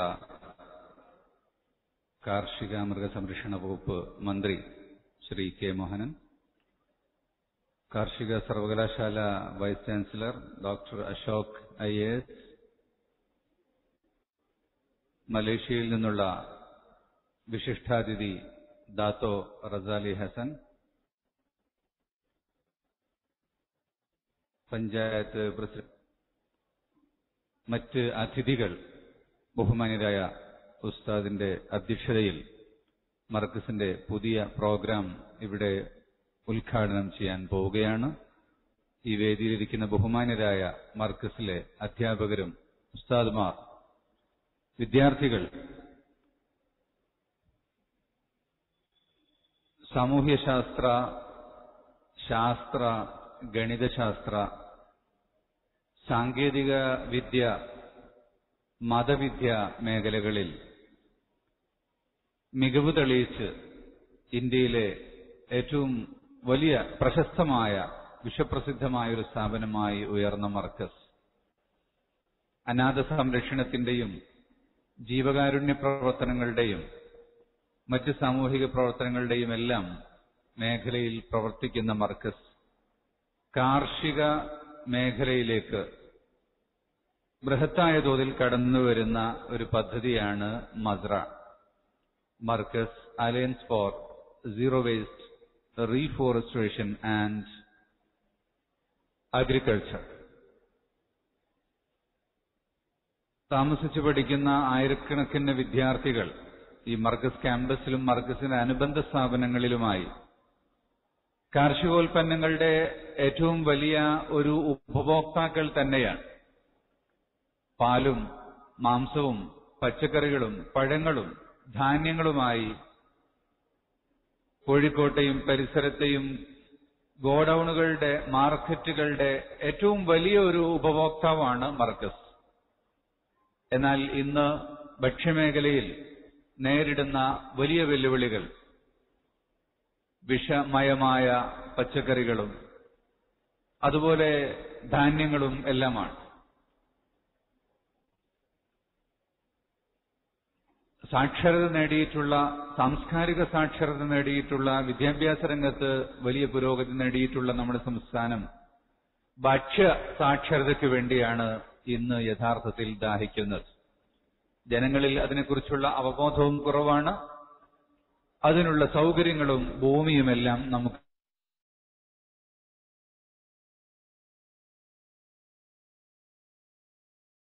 നമുക്ക് നടത്താം കേരളമെന്ന് പറയുന്ന കടലിനും പർവ്വതത്തിനും ഇടയ്ക്കുള്ള ഈ കൊച്ചുഭൂമിയിൽ ജനനിബിഡമായ ജനസാന്ദ്രമായ ഈ സംസ്ഥാനത്ത് ഇനിയും നമുക്ക് ഉപയോഗിക്കാൻ ഏറെ ഭൂമിയുണ്ട് എന്ന് തെളിയിച്ചിട്ടുള്ള ഒരു സമയത്താണ് നാം ഈ ഒരു പദ്ധതിയിലേക്ക് കടന്നു വരുന്നത് ബഹുമാന്യരായ മന്ത്രി സ്ഥാനമേറ്റെടുത്തതിന്റെ ഏകദേശം ഉടനെ തന്നെ മർക്കസ് സന്ദർശിച്ചിരുന്നു അന്ന് തന്നെ നമുക്ക് വലിയ ഓഫറുകൾ നൽകിയിട്ടുണ്ട് ഞങ്ങൾക്ക് പക്ഷേ അത് പൂർത്തിയാക്കാൻ അന്ന് സാധിച്ചിട്ടില്ല എങ്കിലും കാർഷിക മേഖലയിൽ നിന്ന് ഗവൺമെന്റിൽ നിന്ന് സഹായം വാങ്ങി ഞങ്ങൾ ഇവിടുത്തെ ലഭ്യമായ ഭൂമിയിൽ പച്ചക്കറി തോട്ടങ്ങളും അതുപോലെ കോഴി വളർത്തലും മറ്റു പലതും നടത്തിയിട്ടുണ്ട് വലിയൊരു പദ്ധതി ചെയ്യാൻ അന്ന് തന്നെ ബഹുമാനിതായ മന്ത്രി അവർ ഞങ്ങളോട് പറഞ്ഞിരുന്നു അദ്ദേഹത്തിന്റെ നിർദ്ദേശമനുസരിച്ച് സംസ്ഥാന കൃഷി വകുപ്പിന്റെ ഏറ്റവും വലിയ ഉദ്യോഗസ്ഥർ മർക്കസ് സന്ദർശിക്കുകയും ഞങ്ങൾക്ക് ആവശ്യമായ ഉപദേശങ്ങൾ നൽകുകയും ചെയ്തിരുന്നു പക്ഷേ കേരളത്തിലെ ഏറ്റവും വലിയ പ്രശ്നം ഭൂമി തന്നെയാണ് അലഹമില്ല വളരെ വലിയ കഠിന പരിശ്രമത്തിന്റെ ഫലമായി ഇരുപത് ഏക്കർ വരുന്ന വലിയ ഒരു ഭൂമി കാർഷിക ആവശ്യത്തിന് വേണ്ടി മാത്രം സമ്പാദിക്കാൻ മർക്കസിന് സാധിച്ചു മർക്കസ് അഭ്യുദയകാംക്ഷികളുടെ സഹായം കൊണ്ട് അതിന്റെ ഏകദേശ ഭാഗങ്ങൾ ഞങ്ങൾ വാങ്ങിക്കഴിഞ്ഞു ബാക്കി ഇൻഷാള്ള അതിനുള്ള സഹായ സഹകരണങ്ങൾ ഞങ്ങളുടെ സഹോദരന്മാരിൽ നിന്ന് സുഹൃത്തുക്കളിൽ ഞങ്ങൾ പ്രതീക്ഷിക്കുന്നുണ്ട് അതോടുകൂടി അത് പൂർത്തിയാകും വാങ്ങിയ ഭൂമിയിൽ കാർഷിക പദ്ധതിയുടെ വിവിധ ഭാഗങ്ങൾ തുടങ്ങാൻ വേണ്ടിയുള്ള തയ്യാറെടുപ്പുകൾ നടത്തിക്കൊണ്ടിരിക്കുകയാണ് നൂറ് ലിറ്റർ പാല് ഒരു ദിവസം ഉപയോഗിക്കുന്ന മർക്കസ് ഏറ്റവും ആദ്യമായി ഡയറി ഫാമിനാണ് ലക്ഷ്യമിടുന്നത് അതിനുവേണ്ടിയുള്ള ഫോഡർ കൾട്ടിവേഷൻ ഓൾറെഡി ആരംഭിച്ചു കഴിഞ്ഞു മാട്ടുപെട്ടിയിലുള്ള കാർഷിക ഏറ്റവും ശാസ്ത്രീയമായ ഡയറി ഫാം സന്ദർശിക്കുകയും ഞങ്ങൾക്ക് വേണ്ടിയുള്ള പ്രൊജക്ട് തയ്യാർ ചെയ്തുകൊണ്ടിരിക്കുകയുമാണ് ഏറ്റവും ശാസ്ത്രീയമായ രീതിയിലുള്ള ഏറ്റവും മോസ്റ്റ് മോഡേൺ ആയിട്ടുള്ള അതിന്റെ സ്റ്റാബിലും മറ്റ് സൗകര്യങ്ങളും എല്ലാം ചെയ്തുകൊണ്ടുള്ള ഒരു ഫാമാണ് ഞങ്ങൾ പ്രതീക്ഷിക്കുന്നത് ഞങ്ങൾക്ക് ആവശ്യമായ പാൽ ഉൽപ്പാദിപ്പിക്കുകയും ബാക്കി പുറത്തു വിൽക്കുകയും മർക്കസിന് വരുമാനമുണ്ടാക്കുകയും മാത്രമല്ല മർക്കസ് ഏറ്റവും വലിയൊരു ജനകീയ പ്രസ്ഥാനം എന്ന നിലക്ക് മർക്കസ് മുന്നോട്ട് വെക്കുന്ന ഏതൊരു സംരംഭത്തെയും നെഞ്ചേറ്റാനും അത് അതേ മാതൃക പിൻപറ്റി മുന്നോട്ട് കൊണ്ടുപോകാനും കേരളത്തിലെ സംഘടനകളും സ്ഥാപനങ്ങളും വ്യക്തികളും തയ്യാറാണ് എന്നത് ഈ സ്ഥാപനത്തിന്റെ വലിയ ഒരു പ്രത്യേകതയാണ് അതുകൊണ്ട് ജനങ്ങളിൽ വലിയൊരു അവബോധം സൃഷ്ടിക്കാൻ മറക്കസിന് സാധിക്കും അതുപോലെ goat farm poultry farm agricultural farm മത്സ്യകൃഷി തുടങ്ങിയ എല്ലാം ഉൾപ്പെടുന്ന വലിയൊരു പദ്ധതിയാണ് ഇതിനുവേണ്ടി തയ്യാറാക്കിയിട്ടുള്ളത് അതോടൊപ്പം തന്നെ ഇതിൽ ഞങ്ങൾക്ക് ഏറ്റവും സന്തോഷം നൽകുന്ന ഒരു കാര്യം ബഹുമാനരായ വൈസ് ചാൻസലർ അവർ അദ്ദേഹം വളരെ ഇൻഫർമേറ്റീവ് ആയിട്ടുള്ള ഒരു ക്ലാസ് ആണ് യഥാർത്ഥത്തിൽ ഇതുവരെ ഇവിടെ എടുത്തത് ഈ വിദ്യാർത്ഥികൾ വളരെ നേരത്തെ ഇരിക്കുന്നവരാണെങ്കിലും മന്ത്രി അവരുകളെ പ്രതീക്ഷിച്ചുകൊണ്ടിരിക്കുകയാണ് പക്ഷെ അതിനിടക്ക് മലേഷ്യൻ അതിഥിക്ക് സ്വീകരണം നൽകി ഗൾഫിലെ അതിഥികൾ വന്നു അപ്പൊ ഈ പ്രോഗ്രാം ഒരിക്കലും കാത്തിരിപ്പ് ഞങ്ങൾക്ക് ഒരിക്കലും ഒരു പ്രയാസം സൃഷ്ടിച്ചിട്ടില്ല അതിനിടക്ക് ഐ എ എസ് ഓഫീസർ അവരുടെ വൈസ് ചാൻസലർ അവരുടെ ക്ലാസ്സുകൾ കേട്ടപ്പോ വിദ്യാർത്ഥികൾക്ക് വലിയ ആവേശം ആവുകയും ചെയ്തു ഇനി വിശദമായ ഒരു ക്ലാസ്സിന് പിന്നീട് ഈ ക്യാമ്പസ് സന്ദർശിക്കണമെന്ന് കൂടെ ഞങ്ങൾ ഈ സമയത്ത് ആവശ്യപ്പെടുകയാണ് അതുകൊണ്ട് വിദ്യാഭ്യാസ മേഖലയിലേക്ക് കടന്നു വരാനുള്ള പ്രയാസം വലിയ ഭൂമി വേണം വലിയ ലാബുകൾ വേണം കോടിക്കണക്കിന് രൂപകൾ മുടക്കുന്ന സൗകര്യങ്ങൾ വേണം അത് സർക്കാരിന് മാത്രമേ ചെയ്യാൻ പറ്റുകയുള്ളൂ എന്നാൽ മർഗസ് പോലുള്ള സ്ഥാപനങ്ങൾക്കും തുടങ്ങാൻ പറ്റുന്ന രൂപത്തിലേക്ക് വിദ്യാഭ്യാസ സ്ഥാപനങ്ങൾ തുടങ്ങാൻ കാർഷിക വിദ്യാഭ്യാസ സ്ഥാപനങ്ങൾ തുടങ്ങാനുള്ള പദ്ധതികളെ ലഘൂകരിച്ചുകൊണ്ട് നമ്മുടെ വയനാട്ടിലെ കേവാസു കൃഷി ആൻഡ് യൂണിവേഴ്സിറ്റി നമുക്ക് സൗകര്യം ചെയ്തു തരാൻ എന്നുള്ള വലിയൊരു ഓഫറാണ് ബഹുമാനരായ വി സി അവർകൾ നൽകിയിരിക്കുന്നത് യൂണിവേഴ്സിറ്റിയുടെ പ്രോവിസി കൂടിയായിട്ടുള്ള മന്ത്രി അവരുടെ കൂടെ സാന്നിധ്യത്തിൽ ഇൻഷാല്ല ഈ വരുന്ന അധ്യയന വർഷം തന്നെ ഏതാനും ചില കോഴ്സുകൾ ഞങ്ങൾക്ക് തുടക്കാൻ സാധിക്കും ഒരു നല്ല കാർഷിക ഗവേഷണ കേന്ദ്രം സ്വകാര്യ മേഖലയിൽ തുടങ്ങി ജനങ്ങളിൽ ഇതിന്റെ വലിയൊരു മികവുണ്ടാക്കാൻ ഞങ്ങൾക്ക് സാധിക്കും അതിന് എല്ലാവിധ സഹായങ്ങളും ഗവൺമെന്റിൽ നിന്നും അതുപോലെ യൂണിവേഴ്സിറ്റിയിൽ നിന്നും ഞങ്ങൾ ആവശ്യപ്പെടുകയും ഞങ്ങൾക്ക് നൽകിയ ഓഫർ ഞങ്ങൾ വളരെ സന്തോഷപൂർവ്വം സ്വീകരിക്കുകയും ചെയ്യുന്നു ഈ അഗ്രികൾച്ചറൽ ഫാമിന് വലിയ ഏകദേശം പതിനാറ് കോടിയിലേറെ ചെലവുള്ള വലിയൊരു പദ്ധതിയാണ് കേരളത്തിലെ ഗവൺമെന്റിന്റെ തന്നെ വലിയ ഉദ്യോഗസ്ഥന്മാരുടെ കൂടി ഞങ്ങൾ തയ്യാറാക്കിയിരിക്കുന്നത് അതിന് സർക്കാരിൽ നിന്ന് ആകാവുന്ന അത്രയും ഏറ്റവും വലിയ ഒരു ഫണ്ട് സബ്സിഡി തന്നുകൊണ്ട് ഞങ്ങളെ സഹായിക്കും ബഹുമാനിതരായ മന്ത്രി എന്ന് ഞങ്ങൾക്ക് ഏറ്റവും വലിയ പ്രതീക്ഷയുണ്ട് അദ്ദേഹം വ്യക്തിപരമായും പാരമ്പര്യമായും മർക്കസും ഈ പ്രസ്ഥാനവുമായി വളരെ അടുത്ത ബന്ധമുള്ള ആളും അദ്ദേഹത്തിന്റെ ഔദ്യോഗിക ജീവിതത്തിൽ തന്നെ നമുക്ക് ഏറ്റവും വലിയ സൗകര്യങ്ങൾ ചെയ്തു തന്നിട്ടുള്ള ഒരു മഹാ വ്യക്തിത്വവുമാണ് ഞാൻ ഈ സമയം നീട്ടിക്കൊണ്ടു പോകുന്നില്ല രാവിലെ മുതൽ തുടങ്ങിയ നിരവധി പര്യടനങ്ങളിലൂടെ സഞ്ചരിച്ച് വളരെ ക്ഷീണിച്ചാണ് ബഹുമാനരായ മന്ത്രി അവർ ഇവിടെ എത്തിച്ചേർന്നിരിക്കുന്നത് അതിൽ ഞങ്ങൾക്ക് വളരെയേറെ സന്തോഷമുണ്ട് മർക്കസ് മാനേജ്മെന്റിന് വേണ്ടി ഇവിടുത്തെ അന്തേവാസികൾക്ക് വേണ്ടി എല്ലാവർക്കു വേണ്ടിയും ബഹുമാനരായ മന്ത്രി അവർ ഈ ഈ പരിപാടിയിലേക്ക് സഹൃദയം സ്വാഗതം ചെയ്യുന്നു അതുപോലെ ഈ വേദിയിലിരിക്കുന്ന നമ്മോട് സംസാരിച്ച് ബഹുമാനപ്പെട്ട യൂണിവേഴ്സിറ്റി വൈസ് ചാൻസലറുകൾ പഞ്ചായത്ത് പ്രസിഡന്റ് ഉൾപ്പെടെയുള്ള വിശിഷ്ടാതിഥികൾ മലേഷ്യയിലെ നമ്മുടെ വിശിഷ്ടാതിഥി ജനാബ് ദാത്തോ റസാലി ഹസൻ സാഹബ് അദ്ദേഹത്തെ ഇവിടെ സഹചരി ഇവിടെ വന്ന ബഹുമാനപ്പെട്ട മലാഹിരി ഉസ്താദ് അതുപോലെ ബഹുമാനരായ സലീം മടവൂർ മറ്റ് ഈ യൂണിവേഴ്സിറ്റിയുടെ പ്രതിനിധികളും എല്ലാം ഇവിടെയുണ്ട് പ്രത്യേകിച്ച് മർക്കസിന്റെ ഹയർ സെക്കൻഡറി സ്കൂളിലെ അധ്യാപകൻ ജനാബ് നിയാസ് ചോല അദ്ദേഹം പഠന മേഖലയിൽ വലിയ സംഭാവനകൾ അർപ്പിച്ച് കേരളത്തിലെ ഒട്ടുമിക്ക വിദ്യാലയങ്ങളിലേക്കും പഠിക്കാനുള്ള ഗാനരൂപത്തിൽ സയൻസും മാത്തമാറ്റിക്സും പഠിപ്പിച്ചു കൊടുത്ത് കേരള സംസ്ഥാനത്തിന്റെ ഏറ്റവും നല്ല അധ്യാപകൻ എന്ന അവാർഡ് വാങ്ങി ഇന്നലെ അദ്ദേഹത്തിന് രാഷ്ട്രപതിയുടെ ഏറ്റവും നല്ല അധ്യാപകന്റെ അവാർഡ് ഡിക്ലെയർ ചെയ്ത സന്തോഷം കൂടി ഞങ്ങൾക്ക് ഇവിടെയുണ്ട് അദ്ദേഹവും ഈ വേദിയിലുണ്ട് അതുപോലെ ഈ മർക്കസിന്റെ ഈ പ്രോജക്റ്റുകൾ ഇത്രയും രൂപത്തിൽ കാർഷിക മേഖലയെ ഏറ്റവും നല്ല നിലക്ക് വളർത്തിക്കൊണ്ടുവരുന്നതിൽ ഇതിന് നേതൃത്വം കൊടുത്തുകൊണ്ട് പ്രവർത്തിക്കുന്ന മുഹമ്മദ് ബുസ്താനെ നേരത്തെ കിളിമുണ്ട സാഹിബ് അദ്ദേഹം പറയുകയുണ്ടായി ഉസ്താനി എന്ന് അദ്ദേഹത്തിന്റെ നേരത്തെ അദ്ദേഹത്തിന്റെ കുടുംബം പേര് വെച്ചത് മർക്കസിലെ ബുസ്താനിയാകാൻ വേണ്ടി ബുസ്താനി എന്ന് പറഞ്ഞാൽ gardener or the agricultural estate manager എന്ന് അർത്ഥം വരുന്ന പേരാണ് ബുസ്താനി അദ്ദേഹത്തിന്റെ വലിയ പദ്ധതി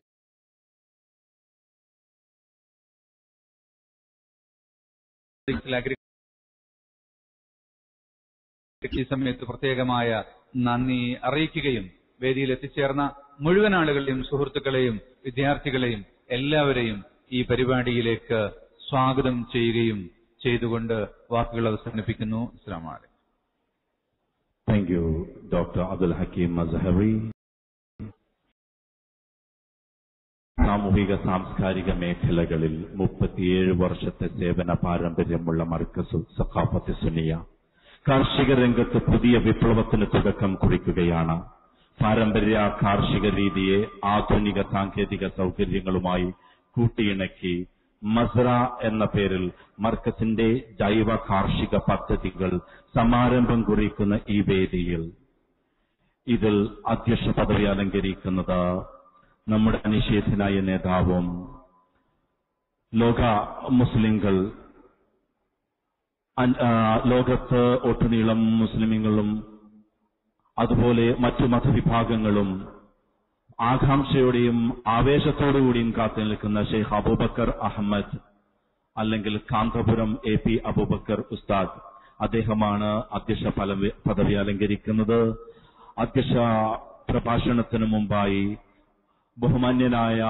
forest sorry honourable minister for agriculture and animal husbandry അദ്ദേഹത്തിന് മെമൻഡോ നൽകുന്നതിനായി വന്യരായ ഉസ്താദിന് ക്ഷണിച്ചുകൊള്ളുന്നു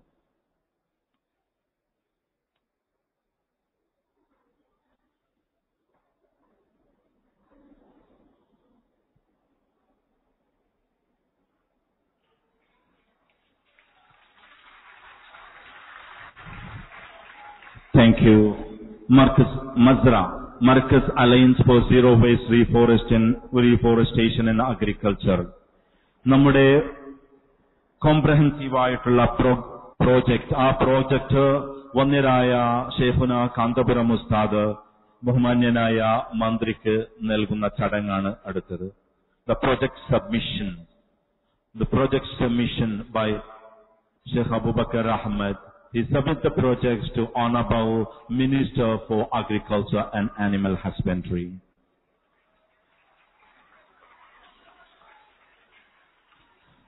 മസറ പ്രോജക്റ്റിന്റെ ബ്രോഷർ ഔദ്യോഗികമായി റിലീസ് ചെയ്യുന്ന ചടങ്ങാണ് അടുത്തത് അതും വന്യരായ ഷേഫുന ഉസ്താദ് മന്ത്രിക്ക് നൽകിക്കൊണ്ട് ബ്രോഷർ റിലീസിംഗ്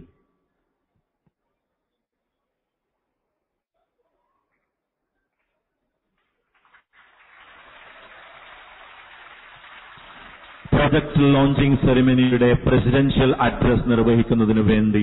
ഒന്നിലായ ഉസ്താദിനെ ക്ഷണിച്ചുകൊള്ളുന്നു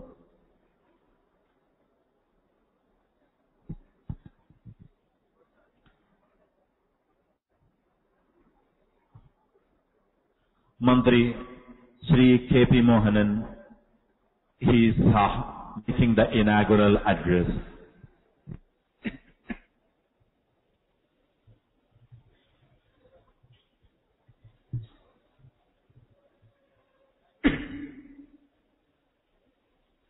ഈ ചടങ്ങിന്റെ ആരാധ്യനും ബഹുമാന്യനും കേരളത്തിന്റെ മാത്രമല്ല ഇന്ത്യയുടെ മാത്രമല്ല ലോക മുസ്ലിം ജനതയുടെ ആശയും ആവേശവുമായ കാന്തപുരം എ പി അബൂക്കർ മുസ്ലിയാർ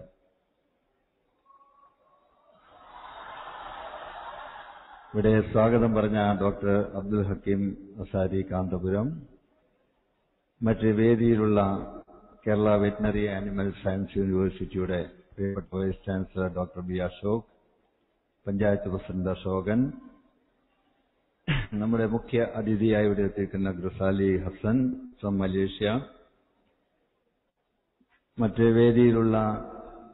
സലീം മടവൂർ എന്റെ പ്രിയപ്പെട്ട സുഹൃത്ത് സലീം മടവൂർ ഇവിടെ അവാർഡ് സ്വീകരിച്ച നിയാസ് ചോളയടക്കമുള്ള അടക്കമുള്ള മറ്റ് വേദിയിലെ ബഹുമാന്യരെ പണ്ഡിതന്മാരെ ഏറ്റവും പ്രിയപ്പെട്ട സഹോദരങ്ങളെ കൂട്ടുകാരെ ഞാനിവിടെ വന്നപ്പോൾ Markaz alliance for zero waste reforestation and agriculture ആ പേരിന്റെ ആ വാക്കുകളൊക്കെ തന്നെ ചേർ വാക്കുകളൊക്കെ തന്നെ ചേർത്താൽ നമുക്ക് ലഭിക്കുന്നത് മസ്ര എന്ന പേരാണ് വളരെ അന്വർത്ഥമായ ഒരു പേരായിട്ടാണ് ഞാനതിനെ കാണുന്നത് കൃഷിയിലേക്ക് തുറക്കാനുള്ള കവാടം തുറന്നുകൊണ്ട് പാരമ്പര്യമായ കൃഷി അത് പുതിയ ടെക്നോളജി ഉപയോഗിച്ചുകൊണ്ട് എങ്ങനെ എന്നതിനെക്കുറിച്ചുള്ള ഏറ്റവും ബൃഹത്തായ ഒരു പദ്ധതിക്കാണ് നമ്മളിവിടെ രൂപം കൊടുക്കുന്നത് അതിന്റെ പദ്ധതി ലഭിച്ചിട്ടുണ്ട് ആദ്യം തന്നെ ആ പദ്ധതിയുടെ അവലോകനം നടത്തുമ്പോൾ ഇതിന്റെ ഉത്തരവാദപ്പെട്ടവരെ സെപ്റ്റംബർ മാസം ആദ്യത്തെ ബുധനാഴ്ച രണ്ടാം തീയതിയോ അല്ലെങ്കിൽ ഒമ്പതാം തീയതിയോ നമ്മുടെ തിരുവനന്തപുരത്ത് ഈ പ്രൊജക്ട് എങ്ങനെ നടപ്പിലാക്കണം എന്നതിനെക്കുറിച്ച് ഒരു യോഗം വിളിച്ചു ചേർക്കുന്നുണ്ട് അത് അഗ്രികൾച്ചർ പ്രൊഡക്ഷൻ കമ്മീഷനും പി സിയും അതുപോലെ തന്നെ അഗ്രികൾച്ചർ യൂണിവേഴ്സിറ്റിയുടെ വൈസ് ചാൻസലറും ഒക്കെ തന്നെ ചേർന്നുകൊണ്ട് മറ്റു ഉദ്യോഗസ്ഥന്മാരൊക്കെ ചേർന്നുകൊണ്ട് ഇതിന്റെ ആരാണോ ഇവിടെ നേതൃത്വം കൊടുക്കുന്നത് രണ്ടോ മൂന്നോ നാലോ പ്രതിനിധികളും അടക്കം ചേർന്നുകൊണ്ട് ആ യോഗം വിളിച്ചേർത്ത് അതിനെന്തൊക്കെ ചെയ്യാൻ കഴിയും എന്തൊക്കെയെന്ന് പറഞ്ഞാൽ എല്ലാ അർത്ഥത്തിലും ബൈ ഓൾ മീൻസ് എന്തൊക്കെ ചെയ്യാൻ കഴിയുമെന്നതിനെക്കുറിച്ച് ഒരു ചർച്ച നടത്തുകയും സർക്കാരിന്റെ കൃഷി വകുപ്പിന്റെ പരമാവധി സഹായങ്ങൾ കൃഷി മൃഗസംരക്ഷണ വകുപ്പിൽ നിന്ന് ലഭിക്കുന്ന പരമാവധി സഹായങ്ങൾ സഹായങ്ങൾ എന്ന് പറയുമ്പോൾ സാധാരണ കൊടുക്കുന്ന മറ്റൊരു രീതിയിലുള്ള സഹായമല്ല സബ്സിഡി എത്രമാത്രം മാക്സിമം ലഭിക്കാൻ സാധിക്കും അത് മൃഗസംരക്ഷണ വകുപ്പിൽ നിന്നാണെങ്കിൽ നമുക്ക് എഴുപത്തഞ്ച് ശതമാനം വരെ കൊടുക്കാം അഗ്രികൾച്ചർ ആണെങ്കിൽ ഇപ്പോൾ അമ്പത് ശതമാനം മാത്രമേ ഉള്ളൂ അതോടൊപ്പം മറ്റ് ഏജൻസികൾ മുഖാന്തരം ലഭിക്കുന്ന സഹായങ്ങൾ അടക്കം ചേർത്തുകൊണ്ട് മറ്റ് അനുബന്ധ മേഖലയിലെ ഉദ്യോഗസ്ഥന്മാരടക്കം ഇരുന്നു കൊണ്ട് ഒരു ചർച്ച നടത്തി അത് പരിപൂർണതയിലേക്ക് എത്തിക്കുമെന്ന് മാത്രമല്ല അത് പ്രാവർത്തികമാക്കാൻ നമുക്ക് ഇവിടെ പറഞ്ഞതുപോലെ തന്നെ നമ്മുടെ പ്രിയപ്പെട്ട സ്വാഗതത്തിൽ പറഞ്ഞ പോലെ തന്നെ ഡോക്ടർ പറഞ്ഞതുപോലെ നമുക്ക് ഏറ്റവും പ്രധാനപ്പെട്ടത് ഭൂമിയാണ് ആ ഭൂമി നമുക്കുണ്ടെങ്കിൽ നമുക്കവിടെ കാർഷിക വിപ്ലവം തന്നെ ഉണ്ടാക്കാം അപ്പൊ അതിന് നേതൃത്വം കൊടുക്കാൻ ഒരു വലിയ മഹത്തായ സ്ഥാപനം എ പി അബൂക്കർ ഉസ്താദിന്റെ നേതൃത്വത്തിൽ വരുന്നു എന്ന് പറയുമ്പോൾ അത് പ്രാവർത്തികമാക്കാനുള്ള ധാർമ്മികമായ ഉത്തരവാദിത്വം കൃഷിവകുപ്പിന്റെ മന്ത്രി എന്ന നിലയിൽ മാത്രമല്ല ഞങ്ങൾക്കുണ്ട് എന്ന് മാത്രം പറഞ്ഞുകൊണ്ട് അതിന് എല്ലാ സഹായങ്ങളും എന്റെ ഭാഗത്തുനിന്നുണ്ടാവുമെന്ന് ഞാൻ ഇവിടെ തന്നെ ആദ്യമായി പ്രഖ്യാപിക്കുവാണ് നമുക്ക് ഒരുപാട് കാര്യങ്ങൾ ഡിസ്കസ് ചെയ്യാനുണ്ട് കാര്യങ്ങൾ കാര്യങ്ങളെ സംബന്ധിച്ചിടത്തോളം പറയാം പ്രത്യേകിച്ച് പുതിയ തലമുറ പുതിയ തലമുറ ഇന്ന് പോകുന്നത് പുതിയ ശൈലി ജീവിത ശൈലിയിലേക്കുള്ള മാറ്റം വന്നതുകൊണ്ട് എന്തിനെ കൃഷിയിടങ്ങളിലേക്ക് തന്റെ കൈ വെച്ചുകൊണ്ട് മണ്ണിൽ തന്റെ കൈ ഉപയോഗിച്ചുകൊണ്ട് എന്തിനു വേണ്ടിയാണ് ഞാൻ അത് പണിപ്പെട്ട് ഇതൊക്കെ തന്നെ പ്രൊഡ്യൂസ് ചെയ്യുന്നത് ഇത് കാശ് കൊടുത്താൽ എനിക്കെല്ലാം വാങ്ങാൻ കിട്ടുമല്ലോ എന്നൊരു ചിന്തയാണ് പക്ഷെ അതിന്റെ ദുരന്തം നമ്മൾ അനുഭവിച്ചുകൊണ്ടിരിക്കുകയാണ് ഓരോ ദിവസവും ഓരോ ക്യാൻസർ രോഗിയെങ്കിലും പിറക്കുന്നു എന്ന് പറയുമ്പോൾ നമ്മുടെ പ്രദേശത്ത് മാത്രം കഴിഞ്ഞ രണ്ടായിരത്തി പതിനാലിലെ കണക്ക് ഈ രണ്ടായിരത്തി പതിനാലിലെ കണക്ക് പ്രകാരം അമ്പതിനായിരം ക്യാൻസർ രോഗികളാണ് കേരളത്തിൽ കേരളത്തിലുണ്ടായത് അത് ഇനിയും കൂടിക്കൂടാ എന്നില്ല ജീവിത രീതിയിലെ മാറ്റം നമുക്ക് ആഹരിക്കാനുള്ള ഭക്ഷ്യവസ്തുക്കൾ നാം പുറത്തുനിന്ന് വാങ്ങുമ്പോൾ അത് മായം കലർന്നതാണ് എന്ന് സംശയിക്കപ്പെടുകയില്ല അങ്ങനെയാണ് എന്ന് സ്ഥിരീകരിക്കപ്പെട്ടിരിക്കുകയാണ് അപ്പൊ അതിനൊരു പ്രതിവിധി എന്താണ് നമുക്ക് ആഹരിക്കാനുള്ള മുഴുവൻ വസ്തുക്കളും നമ്മുടെ പുരയിടത്തിൽ നമ്മുടെ പ്രദേശത്ത് നമുക്ക് ഉൽപ്പാദിപ്പിക്കാം ഇപ്പൊ ഉള്ളവരും അതിലേക്ക് മാറിയിട്ടുണ്ട് ഏകദേശം എന്ന് പറഞ്ഞാൽ പത്തോ ഇരുപത്തഞ്ചോ ശതമാനം ആളുകൾ മാറിയിട്ടുണ്ട് വലിയ ഹോട്ടലുകളിലൊക്കെ തന്നെ അവരുടെ ടെറസിന്റെ മുകളിൽ ഇന്ന് പച്ചക്കറി തോട്ടമാണ് ആ പച്ചക്കറി ഉപയോഗിച്ചുകൊണ്ടാണ് അവിടുത്തെ ഹോട്ടലിലെ ഭക്ഷണത്തിന് വേണ്ടി പച്ചക്കറി എടുക്കുന്നത് അങ്ങനെ മാതൃകാപരമായ പ്രവർത്തനങ്ങൾ നടത്തിക്കൊണ്ട് മുന്നോട്ട് പോകുമ്പോൾ അത് പരമാവധി ഉപയോഗപ്പെടുത്താൻ നമ്മൾ ഒക്കെ തന്നെ മുന്നോട്ട് വരണം അതിന് എന്ത് സഹായങ്ങളും സർക്കാരിന്റെ ഭാഗത്തുനിന്നുണ്ടാവും എന്ന് പറയുകയാണ് ഇത് നമുക്കറിയാം ഞങ്ങൾ ആഗ്രഹിക്കുന്നത് രണ്ടായിരത്തി പതിനാറ് അവസാനിക്കുന്നതോടുകൂടി കേരളത്തെ സമ്പൂർണ്ണ ജൈവ കാർഷിക സംസ്ഥാനമാക്കി മാറ്റണം എന്നതാണ് അതൊരു വലിയൊരു കാൽവെപ്പാണ് ഒന്നൊന്നര വർഷമായിട്ട് ഞങ്ങൾ തുടങ്ങിയ ഏറ്റവും പ്രധാനപ്പെട്ട പദ്ധതികളിൽ കേരളത്തിന്റെ ജനങ്ങളുടെ ആരോഗ്യസ്ഥിതി കണ്ടറിഞ്ഞുകൊണ്ട് ജൈവ കാർഷിക സംസ്ഥാനം എന്ന ലക്ഷ്യം പരമ്പരാഗത കാർഷിക രീതി എന്ന് പറയുമ്പോൾ നമുക്ക് ഏറ്റവും പ്രധാനപ്പെട്ട നമ്മൾ കാണേണ്ടത് മാലിന്യമില്ല എന്നതാണ് എന്തുകൊണ്ട് പഴയ കാലത്ത് മാലിന്യം ഉണ്ടായില്ല അന്ന് കൃഷിയുണ്ടായിരുന്നു കൃഷി ഉണ്ടാകുമ്പോൾ മാലിന്യം ഉണ്ടാകില്ല മാലിന്യം എന്ന് പറയുന്നത് ഏറ്റവും മൂല്യമുള്ള ഏറ്റവും വിലപിടിപ്പുള്ള ഏറ്റവും ഉള്ള വിലപിടിപ്പുള്ള ഒരു അപൂർവമായിട്ട് ലഭിക്കുന്ന കാര്യമാണ് അപ്പൊ മാലിന്യത്തിന് വിലയില്ല എന്ന് പറഞ്ഞുകൊണ്ട് നമ്മൾ മാലിന്യം തള്ളുമ്പോൾ മാലിന്യമാണ് ഏറ്റവും വിലപിടിപ്പുള്ളത് ആ മാലിന്യമായിരുന്നു നമുക്ക് പണ്ട് കാലത്ത് കൃഷിക്ക് വേണ്ടിയിട്ട് വളമായിട്ട് ഉപയോഗിച്ചുകൊണ്ടിരുന്നത് ആ മാലിന്യത്തെ നമുക്ക് വളമാക്കി മാറ്റണം അതാണ് ഇവിടുത്തെ ഏറ്റവും പ്രധാനപ്പെട്ടത് സീറോ വേസ്റ്റ് എന്ന് പറയുമ്പോൾ ഏറ്റവും പ്രധാനപ്പെട്ടതാണ് വേസ്റ്റ് ഇല്ലാത്തത് മാലിന്യമില്ലാത്തൊരു പ്രദേശം ഇപ്പൊ ഞാൻ നാലായിരം വിദ്യാലയങ്ങളിൽ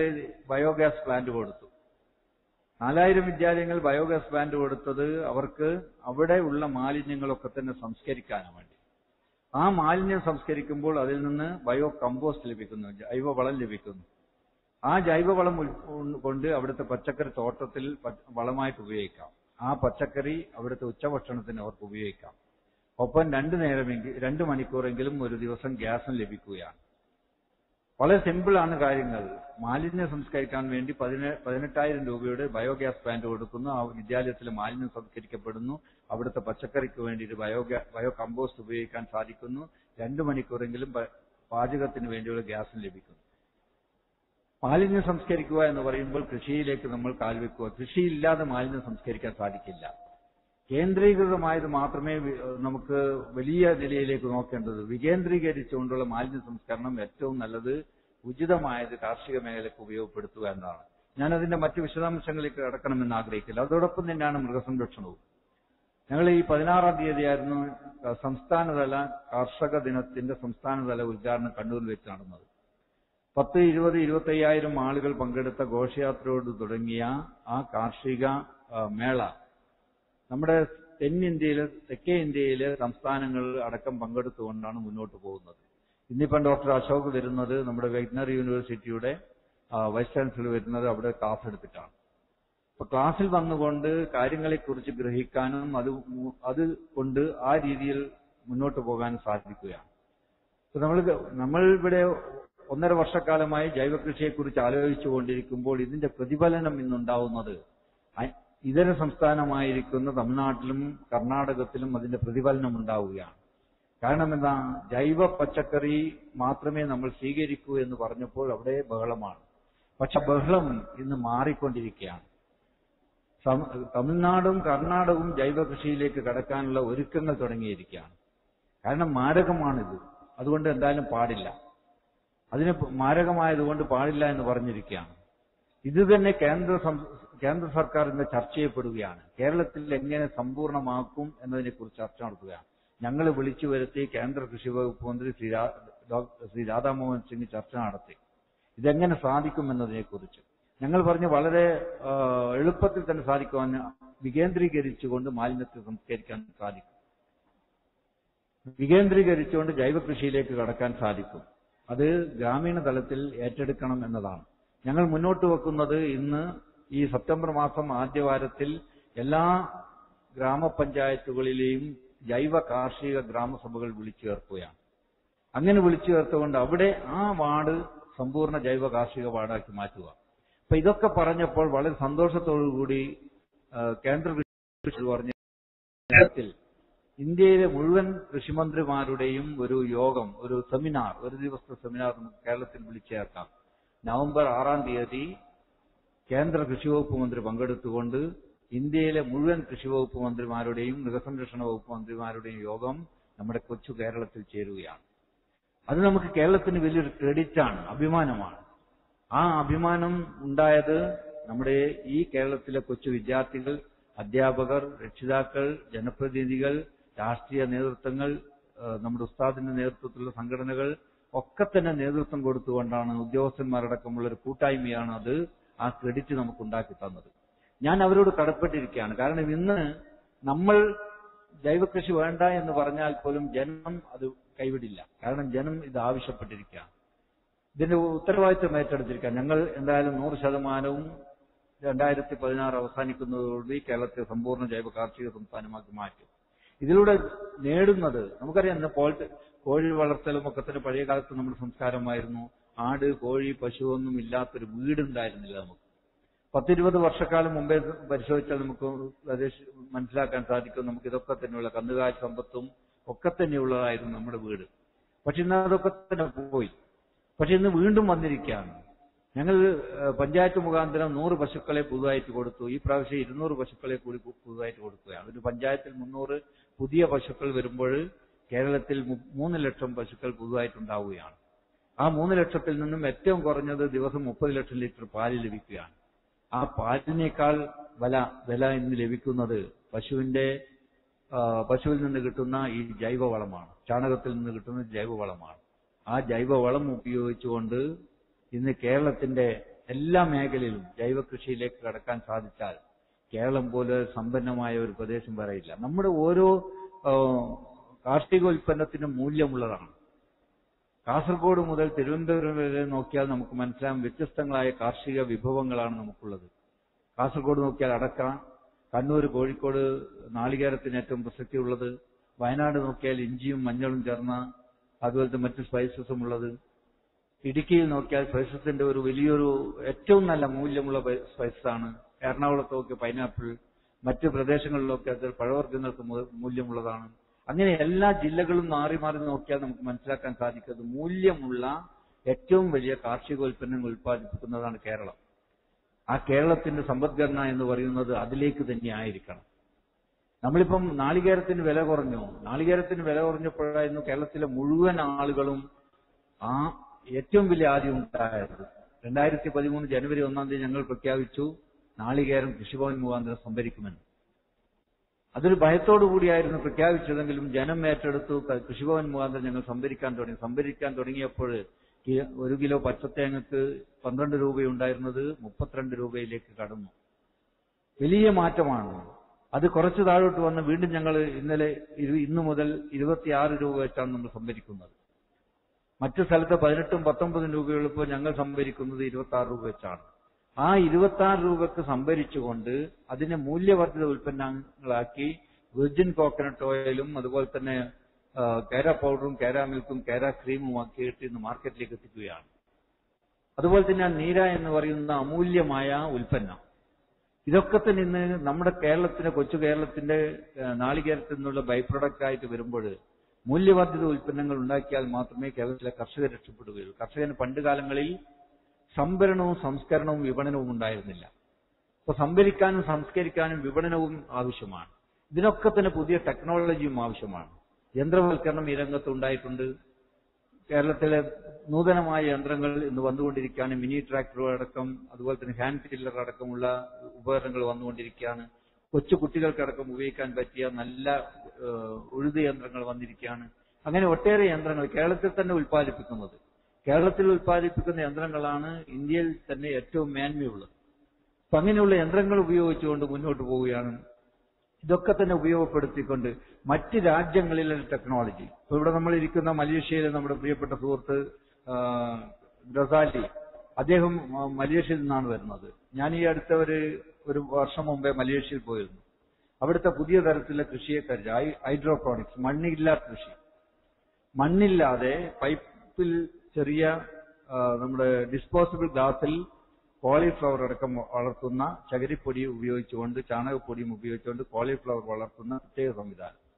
ഹൈഡ്രോപോണിക്സ് അത് ഞങ്ങൾ ഇരുപത്തിയഞ്ച് ഏക്കർ സ്ഥലത്ത് നമ്മുടെ കാസർഗോഡ് നമ്മൾ നടപ്പിലാക്കാൻ പോവുകയാണ് ഹൈഡ്രോപോണിക്സ് മണ്ണില്ലാതെ നമുക്ക് കൃഷി ചെയ്യാൻ സാധിക്കും ഏറ്റവും മൂല്യമുള്ളതായിട്ട് മാറുകയാണ് അപ്പൊ അങ്ങനെയുള്ള കൃഷി കാർഷിക സമ്പ്രദായങ്ങൾ പുതിയ ടെക്നോളജി ഉപയോഗിച്ച ഹൈടെക് രീതിയിലൂടെ കാർഷിക സമ്പ്രദായങ്ങൾ മുന്നോട്ട് വരിക നമുക്ക് വളം ഇടണമെങ്കിൽ വളവും വെള്ളവും ഒരേ സമയത്ത് വെട്ടുകേഷ് നടത്താൻ സാധിക്കുക അതുപോലെ തന്നെ മഞ്ഞ് മഞ്ഞുള്ള സംസ്ഥാനങ്ങളിൽ വളരുന്ന പച്ചക്കറി പഴവർഗ്ഗങ്ങൾ ഇവിടെ വളർത്താൻ സാധിക്കും മിസ്റ്റിഗേഷനോടെ അങ്ങനെയുള്ള ഒട്ടേറെ സമ്പ്രദായങ്ങൾ പുതിയതായിട്ട് നടപ്പിലാക്കാൻ വേണ്ടിയുള്ള ഏറ്റവും നൂതനമായ പരിപാടികളുമായിട്ടാണ് കൃഷി വകുപ്പ് മുന്നോട്ട് പോകുന്നത് അതൊക്കെ തന്നെ നമുക്ക് ഇവിടെ ഈ പുതിയ നമ്മുടെ മണ്ണ് ആ മണ്ണിൽ നമുക്ക് ഉപയോഗിച്ചുകൊണ്ട് മുന്നോട്ട് പോകാൻ സാധിക്കും അത് വളരെ പ്രധാനമാണ് നമുക്ക് കൈകൾ തന്നത് അന്യോ അന്യോന്യം മത്സരിക്കാനോ അല്ലെങ്കിൽ അടിപിടി കൂടാനോ അല്ല മനുഷ്യർ തമ്മിൽ അടിപിടി കൂടാനല്ല മണ്ണിനെ പൊന്നാ മണ്ണിനോട് പൊരുതി മണ്ണിനെ പൊന്നാക്കാൻ വേണ്ടിയിട്ടാണ് നമുക്ക് പടച്ചോൻ കൈകൾ തന്നത് ആ കൈകൾ ഉപയോഗിച്ചുകൊണ്ട് നമുക്ക് മണ്ണിനെ പൊന്നാക്കണം പൊന്നാക്കാൻ സാ പൊന്നാക്കിയവരായിരുന്നു നമ്മൾ നമ്മുടെ ശൈലിയിലുള്ള മാറ്റം നമ്മൾ അതിൽ നിന്ന് പോയി അതുകൊണ്ട് ആരോഗ്യം കുറഞ്ഞ ഒരു സമൂഹമായിട്ട് മാറിയിരിക്കുകയാണ് മണ്ണിനോട് മല്ലിടുന്നവരോട് നിങ്ങൾ നോക്ക് ഏറ്റവും നല്ല ആരോഗ്യമുള്ളവരാണ് കാലത്തെഴുന്നേറ്റ് ഒരു പാദ ബെയർ ഷൂട്ടായിട്ട് നിങ്ങൾ നടക്കുകയാണെങ്കിൽ കാലിൽ ചെരുപ്പൊന്നുമില്ലാതെ നിങ്ങൾ നടക്കുകയാണെങ്കിൽ നിങ്ങൾക്ക് ആരോഗ്യം കൂടും രാവിലെ ഞാൻ ചെയ്യുന്ന കസരത്ത് അതാണ് നാലേ മുക്കാൽ സമയത്ത് ഞാൻ എഴുന്നേൽക്കും അരമണിക്കൂർ ഞാൻ കസരത്ത് കളിക്കുന്നത് ചെരുപ്പില്ലാതെ ചരക്കലിൽ വളരെ സമ്മർദ്ദം ചെലുത്തിക്കൊണ്ട് നടത്തവും അതുപോലെ തന്നെ ചില കസരത്തൊക്കെ തന്നെ കളിക്കുക കസരത്തിനെ കുറിച്ച് ഞാൻ പറഞ്ഞു തരുന്നില്ല വീട്ടിൽ വന്നാൽ കാണും അപ്പൊ ആ കസരത്ത് കളിച്ചിട്ടാണ് ഞാൻ എൻ്റെ ആളുകളെ സ്വീകരിക്കുക നമ്മുടെ പ്രിയപ്പെട്ട മുസ്ലിം സമുദായത്തിൽപ്പെട്ട ആളുകളോടേക്ക് ഒന്ന് കാണണല്ലോ എന്ന് പറയും ഞാൻ പറയും സുബനിസ്കാരം കഴിഞ്ഞ് നേരെ ഇങ്ങോട്ട് പോയി എന്ന് പറയും സുബനിസ്കാരം കഴിഞ്ഞ് വരുമ്പോൾ ഞാൻ റെഡിയായിട്ട് എൻ്റെ ഒ പിക്ക് റെഡിയായിട്ട് ഇരുന്നിട്ടുണ്ടാവും എന്റെ ഒ പി എന്ന് പറയുന്നത് ആളുകൾ കാണുമോ നിവേദനം സ്വീകരിക്കുക അവർക്ക് വേണ്ടത് ചെയ്തു കൊടുക്കുക എന്നാണ് ഇതെല്ലാം പറച്ചോട്ട് നീയത്തുനിന്ന് മാത്രമേ ഉള്ളൂ അപ്പൊ അതൊക്കെ തന്നെ ഉപയോഗിച്ചുകൊണ്ട് നമുക്കെല്ലാം ദൈവ പടച്ചൻ എന്ന് പറയുന്നത് നമുക്കൊക്കെ തന്നെ തന്നതാണ് അത് പരമാവധി നമ്മൾ ഉപയോ നല്ലതിനു വേണ്ടി ഉപയോഗിക്കണം നന്മക്ക് വേണ്ടി ഉപയോഗിക്കാതെ തിന്മയ്ക്ക് വേണ്ടി ഉപയോഗിക്കുന്നതാണ് പലപ്പോഴായിട്ട് നമ്മൾ കണ്ടുവരുന്നത് അതുകൊണ്ട് നന്മക്ക് വേണ്ടി ഉപയോഗിക്കാൻ വേണ്ടിയുള്ള ഏറ്റവും നല്ല പ്രവർത്തനങ്ങൾ നടത്താൻ സാധിക്കണം അങ്ങനെയുള്ള ഒരു പ്രവർത്തനമാണ് ഇവിടെ മസ്ര എന്ന പദ്ധതിയിലൂടെ ഞാൻ കാണുന്നത് ഇവിടെ നൽകിയ പ്രൊജക്ട് ഞാൻ പറഞ്ഞതുപോലെ തന്നെ ഈ സെപ്റ്റംബർ മാസം ഒമ്പതാം തീയതി ഒരു യോഗം വിളിച്ചു ചേർത്തുകൊണ്ട് ഇതിനെക്കുറിച്ച് വളരെ നല്ല ഇതിന്റെ എക്സ്പേർട്ടിന് ഒക്കെ തന്നെ ഉണ്ടാകും അവരെയൊക്കെ തന്നെ വിളിച്ചു ചേർത്തുകൊണ്ട് ഒരു യോഗം വിളിച്ചു ചേർത്തുകൊണ്ട് അവിടെ വെച്ച് നമുക്ക് ഒരു രൂപം ഉണ്ടാക്കാം അത് പ്രാവർത്തികമാക്കാനും നിങ്ങളുടെ എല്ലാവരുടെയും സഹായങ്ങൾ ഉണ്ടാവണമെന്ന് വളരെ വിനയത്തോടു കൂടി അഭ്യർത്ഥിച്ചുകൊണ്ട് ഇവിടെ എന്നെ ക്ഷണിച്ചതിനും വരാനുള്ള സൗകര്യം ഒരുക്കിയതിനും ഉസ്താദിനോട് അടക്കമുള്ളവരോടുള്ള എന്റെ നന്ദി സ്നേഹവും പ്രകടിപ്പിച്ചുകൊണ്ട് ഞാൻ നിർത്തുന്നു അഭിവാദനങ്ങൾ താങ്ക് യു മിനിസ്റ്റർ ബഹുമാനപ്പെട്ട മന്ത്രി അവർകൾ സവിസ്തരം പദ്ധതിയെ സംബന്ധിച്ച് പഠിക്കുകയും നമ്മെ മനസ്സിലാക്കി തരികയും ചെയ്തിട്ടുണ്ട് ഏതായാലും ഇവരിപ്പോൾ നോക്കിക്കൊണ്ടിരിക്കുന്നത് ഇവരിപ്പം നോക്കിക്കൊണ്ടിരിക്കുന്നത് പതിനാറ് കോടി ഇവിടെ പദ്ധതിയാണ് തൽക്കാലം തുടങ്ങുന്നത് അതിൽ എത്ര കോടിയാണ് മന്ത്രി തരാന്നുള്ളതാണ് ഇപ്പൊ ഇവര് നോക്കിക്കൊണ്ട്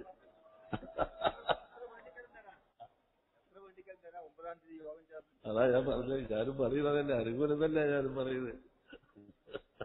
അപ്പൊ അതുകൊണ്ട്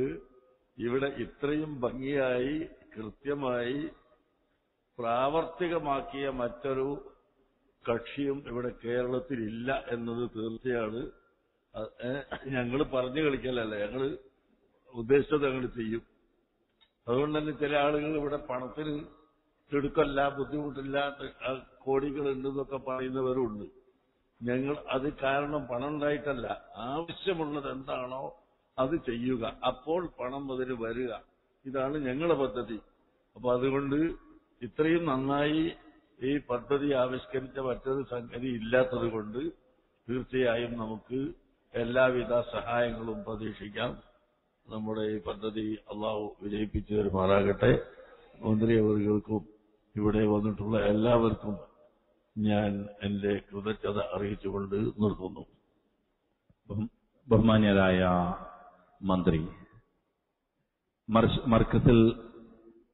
നടന്ന കാർഷിക ശില്പശാല അഞ്ച് ദിവസം നീണ്ടുനിന്ന കാർഷിക ശില്പശാലയിൽ പങ്കെടുത്ത വിദ്യാർത്ഥികൾക്കുള്ള സർട്ടിഫിക്കറ്റിന്റെ ഉദ്ഘാടനം മന്ത്രി നിർവഹിക്കുകയാണ് Ijaz Ahmed Lone from Kashmir receives the participation certificate from the hands of honourable minister for agriculture and animal husbandry വർഷങ്ങൾക്ക് മുമ്പ് കാശ്മീരിന്റെ തായ്വരയിൽ നിന്ന് ഏതാനും കുട്ടികളെ കാന്തപുരം ഉസ്താദ് മർക്കസിലേക്ക് കൊണ്ടുവന്നപ്പോൾ സംശയത്തോടുകൂടി നോക്കിയവരുണ്ടായിരുന്നെങ്കിൽ വർഷങ്ങൾക്കിപ്പുറം നൂറുകണക്കിന് കാശ്മീരി വിദ്യാർത്ഥികൾ അവർ കൃഷിയിൽ മാത്രമല്ല കഴിഞ്ഞ സ്വാതന്ത്ര്യദിന പരിപാടി മർക്കസിൽ നടന്നപ്പോൾ അതിന്റെ മുഴുവൻ കോർഡിനേഷനും നടത്തിയത് കാശ്മീരി വിദ്യാർത്ഥികളായിരുന്നെങ്കിൽ ഇന്ന് അതിന്റെ ഉത്തരം ദേശസ്നേഹം എന്ന അല്ലെങ്കിൽ ദ പാട്രിയറ്റ് എന്ന പേരിൽ കശ്മീരി വിദ്യാർത്ഥികൾ സ്വാതന്ത്ര്യദിനത്തിൽ പ്രസിദ്ധീകരിച്ച ആ ഒരു മാഗസിൻ തന്നെ അതിന് മറുപടിയാണ് വന്യരായ ഉസ്താദിന്റെ എല്ലാ ചെയ്തികളും ഇൻക്ലൂഡിംഗ് ദ പ്രൊജക്ട് മസ്ര എല്ലാം അള്ളാഹു സുബാനോ തല വിജയിപ്പിക്കട്ടെ എല്ലാവർക്കും നന്ദി നേരുന്നു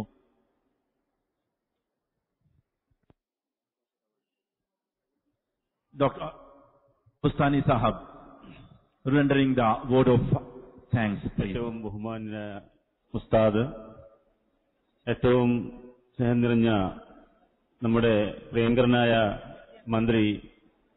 മോഹൻ സാർ നമ്മുടെ veterinary college vice chancellor doctor B Ashok Saleem Madavoor ദേശീയ അധ്യാപക വാർഡ് ജേതാവ് നിയാസ് ചോല മറ്റ് എല്ലാവർക്കും